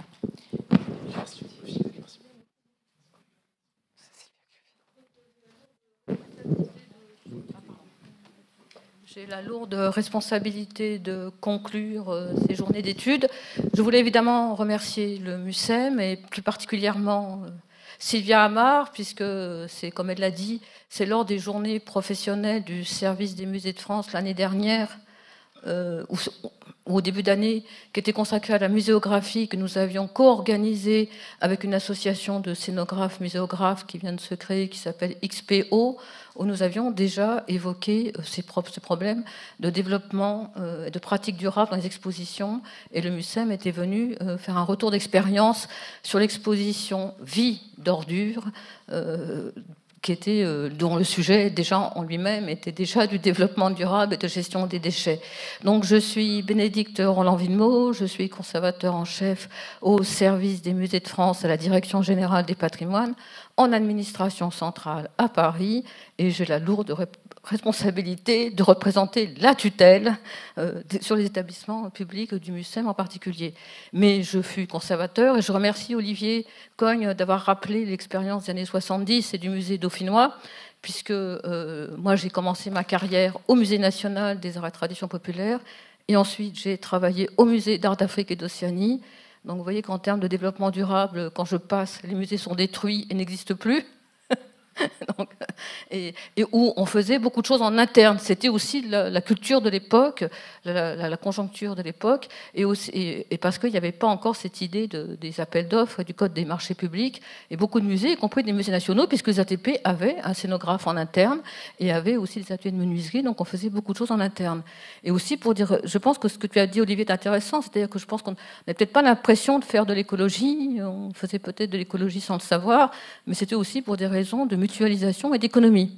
Et puisque nous sommes à Marseille, euh, on en a parlé tout à l'heure avec Fabrice, euh, vous êtes ici à Marseille, la mutualisation, Marseille fut une des premières villes à avoir une direction des musées, avec Strasbourg et à avoir mutualisé euh, les réserves de ces musées municipaux sur une volonté politique et la mutualisation a permis aussi justement d'avoir une rationalisation de la gestion des collections dans les réserves et que donc de faire du développement durable et de l'économie et de l'écologie avec un classement euh, des collections qui était beaucoup plus pertinent. Alors à propos des labels, je voulais en parler. Alors je voudrais d'abord qu'on ne confonde pas label, norme et appellation.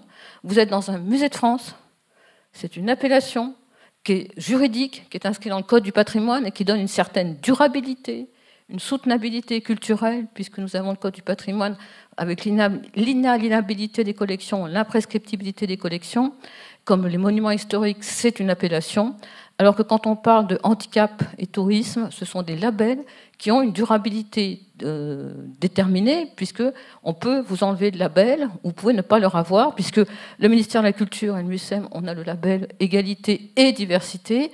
Et il me semble bien qu'on ait évalué, je ne sais pas de bêtises, Olivier, tous les trois et, tous les et ans, ou tous les cinq ans, pour voir si on continue à avoir cette démarche, parce que ce sont des processus qui doivent continuer dans le temps. Donc, euh, donc c'est pour ça que je me méfie un peu des labels, hein, donc, euh, parce qu'on a, quand même un pays qui labellise tout, hein, le plus moche village, euh, le plus...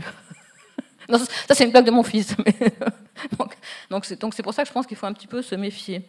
Alors moi j'ai tendance à penser que le musée c'est du développement durable, puisqu'on a parlé de la seconde vie des objets. Un musée, c'est assez ça, les archéologues le savent, c'est la seconde vie d'un objet. Le patrimoine, ça sert à ça, c'est du développement durable. Alors, si, et comme on l'a vu, si nous voulons que tout reste tel que c'est, il faut que tout change. Hein, euh, euh, dit le neveu de Prima Salina dans Le Guépard de Giuseppe, Lampedusa, hein, puisqu'il faut que tout change pour que tout, faut que tout reste pour que tout change, ou inversement. Et le premier sentiment de l'homme fut celui de son existence, le second fut celui de sa conservation, a dit Jean-Jacques Rousseau. Donc c'est toujours cette dialectique entre le développement. Euh, pour moi, d'abord, le développement durable, c'est peut-être un oxymore, parce que je pense que quand on veut développer, on a au moins un objectif d'une certaine durabilité, sinon on ne fait pas de développement. Et, et commençons aussi par une évidence, c'est que le sort de tout objet fait de la main de l'homme est de subir des modifications, de se dégrader, finalement de disparaître. Parce qu'en fait, à quoi sert la conservation-restauration? Ce n'est qu'à essayer d'augmenter la pérennité ou de conserver le plus possible les objets pour euh, nos, successeurs. Et tout coule, c'est ainsi qu'Héraclite d'Éphèse décrivit le monde dans lequel nous vivons. Rien n'est immobile, la nature est en perpétuel mouvement, et comme les matériaux qui qui les composent, les objets produits par la main de l'homme, eux aussi, se transforment, étant à disparaître dans le temps, et la culture et la culture matérielle n'est pas éternelle. Et cependant, c'est peut-être en créant le musée ou le patrimoine, maintenant avec l'élargissement de la notion de patrimoine, que l'homme semble s'opposer à cette loi universelle. Donc le musée est déjà en soi du développement durable, puisqu'il a des contraintes et aussi des exigences. Si les pratiques, on voit bien aussi, puisque en plus, moi j'ai fait le DESS de conservation préventive en 1997, ce qu'on appelle le master de conservation préventive, et dans mes divers postes au château de Compiègne, je me suis toujours occupée de façon transversale de la conservation et de la restauration, et j'ai été commissaire d'exposition. Et si les pratiques de l'entretien des collections royales, je me suis cantonnée à, la France, euh, remontent au XVIe siècle, ce sont euh, aux artistes que sont confiées les interventions sur les œuvres jusqu'au début du XXe siècle. Puis une approche devient de plus en plus scientifique. Et à mon avis, je pense qu'il y a une coupure euh, dialectique et épistémologique très importante. Je pense que c'est la Deuxième Guerre mondiale où on a commencé à se poser la question à cause de la reconstruction et des, des, enfin de tout ce qui a été détruit par les guerres. Hein. Si on se rappelle le bombardement de Dresde, si on se rappelle euh, tout le, le bombardement en Normandie et autre part dans le monde. Et que, donc protéger les œuvres d'art afin de, lui assurer une plus, longue pérennité est devenu, depuis la Seconde Guerre mondiale, l'objet d'une attention constante de la part des professionnels et les, découvertes scientifiques sur les matériaux constitutifs des œuvres d'art et, une prise de conscience euh, de, des nouveaux périls climatiques aussi et surtout aussi des dégâts de guerre et environnementaux ont, amené à se, professionnaliser, à établir des critères de conservation. Hein. Plutôt que de restaurer les objets patrimoniaux, les professionnels cherchent maintenant à s'assurer, en assurer préventivement les conditions de conservation. La conservation préventive est apparue dans les années 90, qui venait des, pays anglo-saxons, et maintenant on parle même de conservation prédictive. Hein. Depuis les années 60, euh, des, centres de conservation se sont développés. Des historiens d'art, des archéologues, des architectes, des artistes, des restaurateurs se sont rapprochés des scientifiques.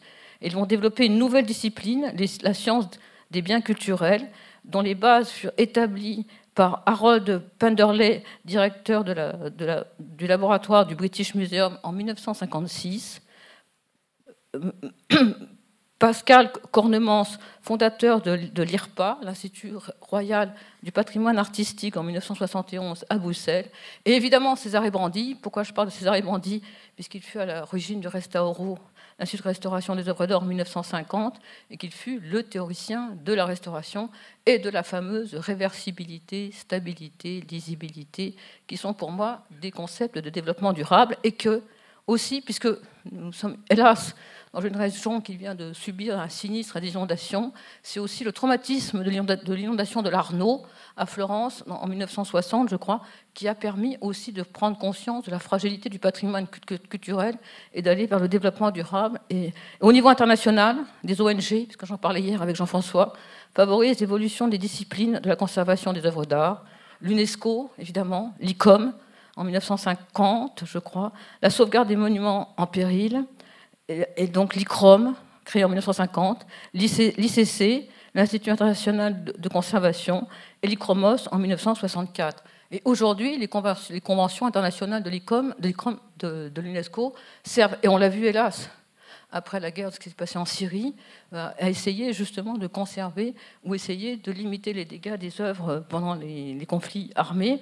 Aujourd'hui, les conventions internationales ont aussi ce rôle-là, et aussi les, je pense aussi que la notion et l'émergence, euh, l'élargissement de la notion de patrimoine a favorisé une nouvelle approche avec le patrimoine immatériel, le droit des communautés hein, sur le patrimoine et la notion de droit culturel qui vient de la Convention de Fribourg, je crois, et qui a été introduite dans la loi NOTRe en France en 2015, la nouvelle organisation territoriale de la République. Et on a vu ce matin, quand vous parlez de participation, de, développement, de, diversité culturelle, c'est aussi les droits culturels et les identités culturelles qui sont aussi, pour moi, qui font partie du point de vue éthique du développement durable.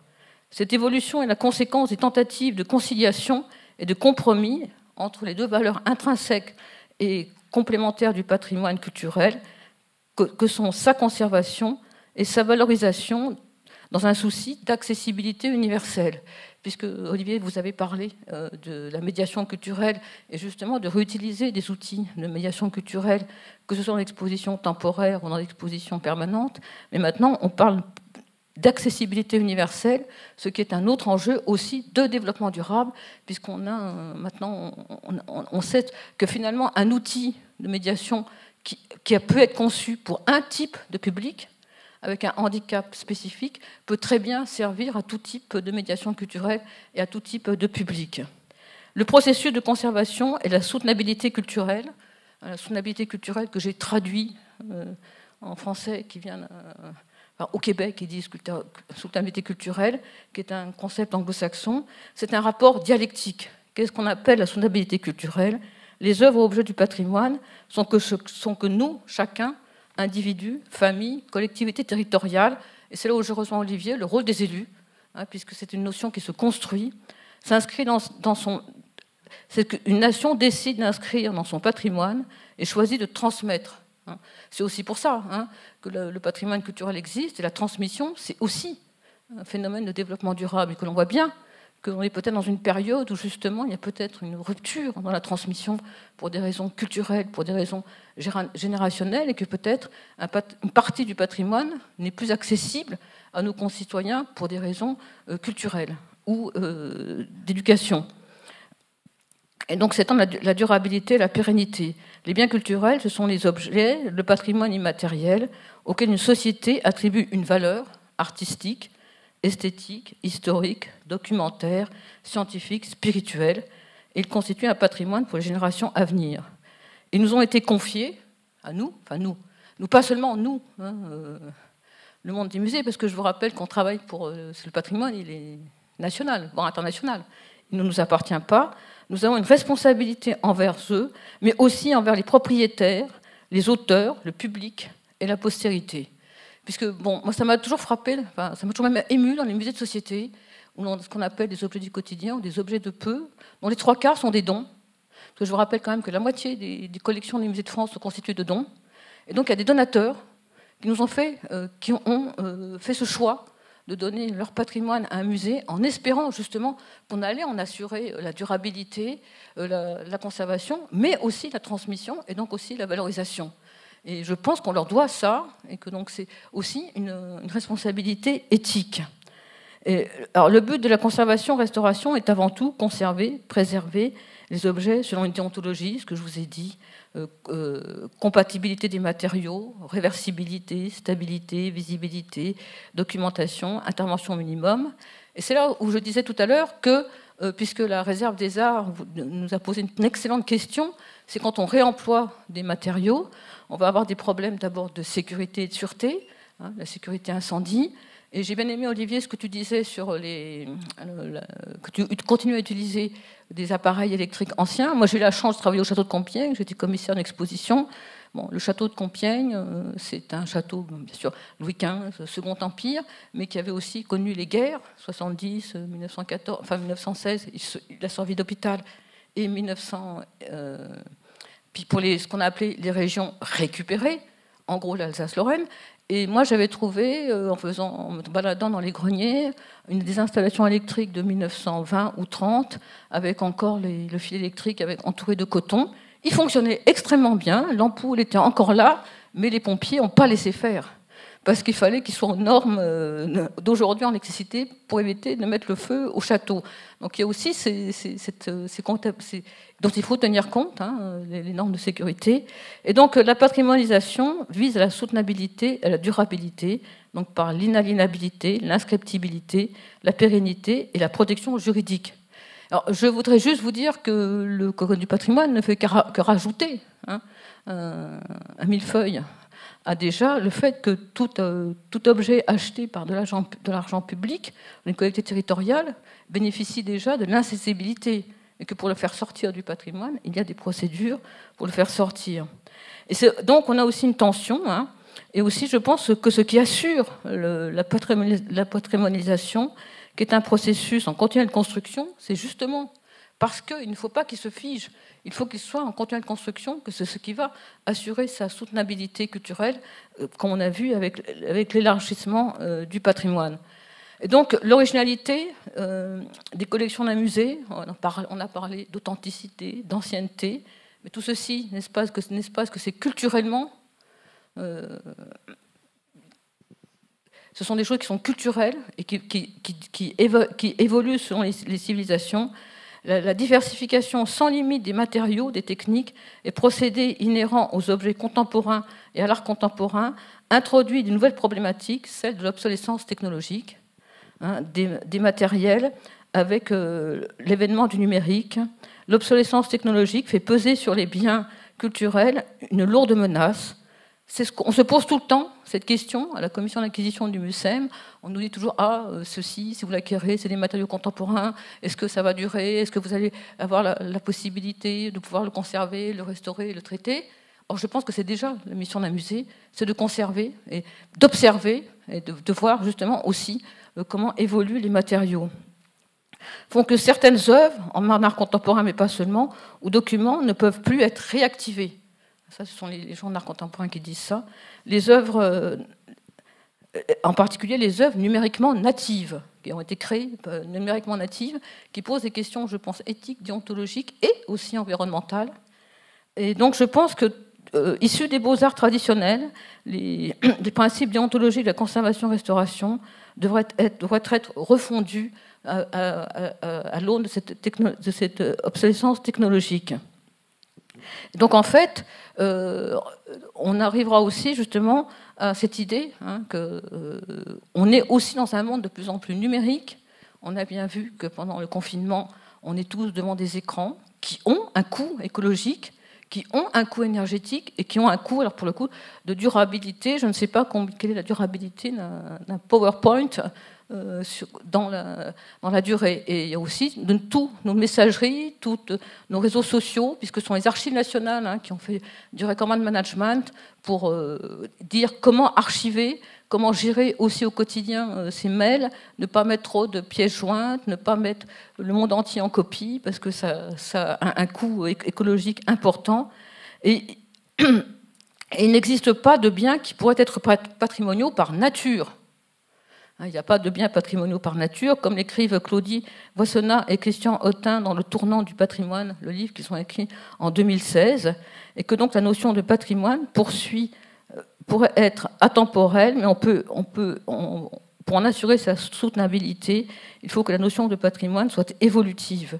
Et toute la problématique de la soutenabilité culturelle est à résoudre justement dans les enjeux parfois contradictoires entre la conservation du patrimoine, son utilisation dans un but de développement territorial, dans un but économique et touristique. C'est ce que souhaitent les élus aussi, que les musées et le patrimoine participent à du développement territorial. C'est aussi une forme de développement. Et la durabilité environnementale, dont on a parlé aussi, c'est le lien, j'ai bien aimé ce que vous avez dit, le dernier interlocuteur, que je trouvais très positif, de, sortir de la collapsologie, c'est le lien entre la diversité culturelle, les droits culturels et la biodiversité, et le développement des droits de l'animal et des droits de la nature, qui repose aussi cette notion de, patrimoine culturel. Et donc, euh, vous avez dit, le futur soutenable. Parce que je vous dis ça, par exemple, parce que ça repose aussi beaucoup le problème de tous les produits que l'on emploie en conservation-restauration, sur des problèmes de toxicité des produits, des problèmes euh, justement où les, restaurateurs réfléchissent beaucoup plus maintenant à des produits beaucoup plus euh, neutres en termes environnementaux, je ne parle pas euh, neutre sur le plan chimique ni stable, et aussi en termes d'éthique. Hein, on va vers de plus en plus des, des, produits naturels, des teintures. On revient à des caisses en bois, bonnes caisses d'archives en bois, qui finalement avaient une certaine durabilité euh, par rapport à tous les plastiques qu'on nous propose. Et je dis ça aussi pour les animaux, parce que, euh, comme vous le savez, euh, nous avons une, petite contradiction hein, entre. On, traite les, biens culturels contre les infestations d'insectes et on est en train de nous dire que l'anoxie ne sera peut-être plus utilisée et qu'il y a le développement des. Enfin, la biodiversité voudrait aussi que la termite a le droit d'exister, euh, le capricorne a le droit d'exister. Euh. Non, mais je ne plaisante pas parce que ce sont des contradictions et ça nous pose des problèmes éthiques entre la conservation d'un patrimoine culturel, puisqu'on parle aussi maintenant de patrimoine naturel et de convention euh, sur le patrimoine naturel de l'UNESCO. Donc nous avons toutes ces contradictions qui sont, je pense, très intéressantes. Donc, euh, pour terminer, euh, pour euh, rebondir avec Olivier, c'est vrai que c'est la Fédération des écomusées. Les écomusées, qui sont, il y a deux termes. Il y a éco, hein, qui est éco, écologie. Il y a éco, qui est aussi la maison, Coiné, et que les, que les écomusées, tu as parlé de, d'Ungersheim, et c'est vrai qu'à Ungersheim, il y avait beaucoup de bénévoles qui étaient là et qui faisaient aussi euh, des, démonstrations de savoir-faire, puisqu'on a de plus en plus aussi maintenant des savoir-faire qui sont au titre euh, du patrimoine immatériel de l'humanité, qui sont portés par les communautés, puisque ce sont les communautés elles-mêmes qui portent le patrimoine immatériel de l'humanité. Le repas gastronomique à la française a été classé au patrimoine immatériel de l'humanité, je vous le rappelle. Euh, je crois qu'il y a le chant corse qui doit être présenté par la France. Il y a des choses qui vont être présentées sur la Polynésie française, euh, sur les, sites euh, spirituels des cultures maoris. Et donc, je pense que donc il faut falloir réfléchir justement à tout ce qui est normes, protocoles, facility report, on en a parlé, Est-ce qu'on doit continuer? Alors moi, je suis d'accord avec vous, Olivier. Je pense qu'il faut trouver un juste milieu entre exposition temporaire, exposition permanente. Et maintenant, d'ailleurs, il y a une certaine porosité hein, entre exposition permanente, exposition temporaire, semi-temporaire, semi-permanent, euh, comme vous voulez. il n'y a pas forcément une opposition, comme on a, pu le croire à la table ronde cet après-midi, entre le spectacle vivant qui aurait une durabilité plus courte de ces spectacles et les expositions des musées qui qui auraient tendance maintenant à durer plus longtemps, parce que, les, et vous êtes, bien, vous êtes bien placé pour le savoir, monsieur l'administrateur général, que le MUSEM, c'est aussi un lieu de spectacle, de production culturelle, et de, de, conférences et de beaucoup de choses qui sont aussi, euh, font partie aussi de la culture.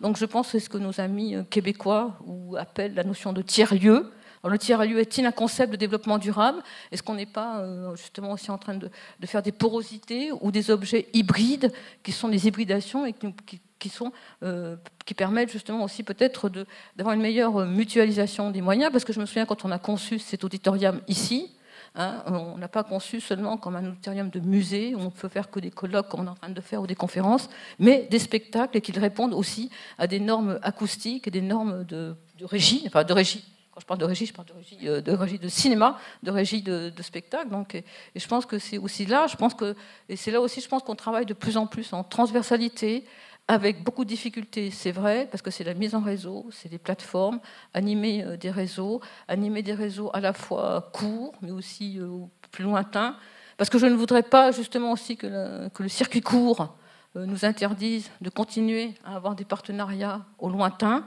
qui sont absolument nécessaires euh, dans les deux sens, puisque pour continuer à penser que le patrimoine est aussi un patrimoine euh, universel. Vous avez quelque chose à ajouter non, ben merci, merci beaucoup euh, Bénédicte pour cette synthèse et puis prospective. Voilà. Merci à tous les participants en présentiel et puis aussi en vidéo. Euh, merci aussi à la régie euh, du, du, MUSEM qui a parfaitement euh, géré tout ça. Bien sûr à l'équipe du, musée et puis à l'équipe de, de l'AFROA. Merci à votre, pour vos participations, vos questions. Et on espère tous que cette journée a été profitable, donner des idées, donner des pistes pour bah, poursuivre ce vaste chantier, parce que je crois que nous ne faisons que, le, que de le commencer. Mais ce que je crois qui est absolument euh, tout à fait marquant aussi, c'est qu'on se rend bien compte qu'au-delà de toutes les pistes, toutes les idées, l'important c'est de l'inscrire dans un projet d'établissement.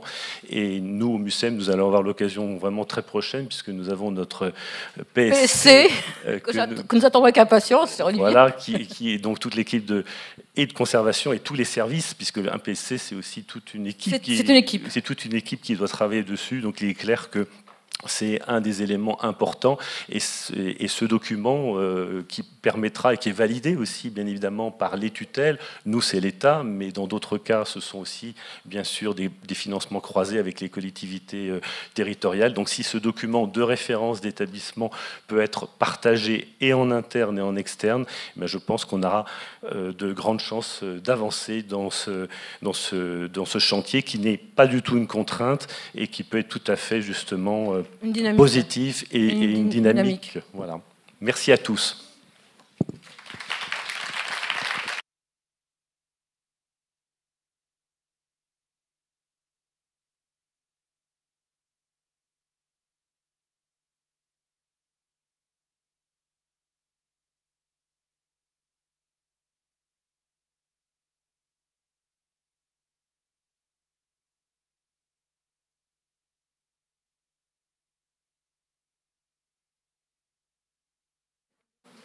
Euh, pour, sortir de la salle, si vous le voulez bien, les rangs du haut en premier.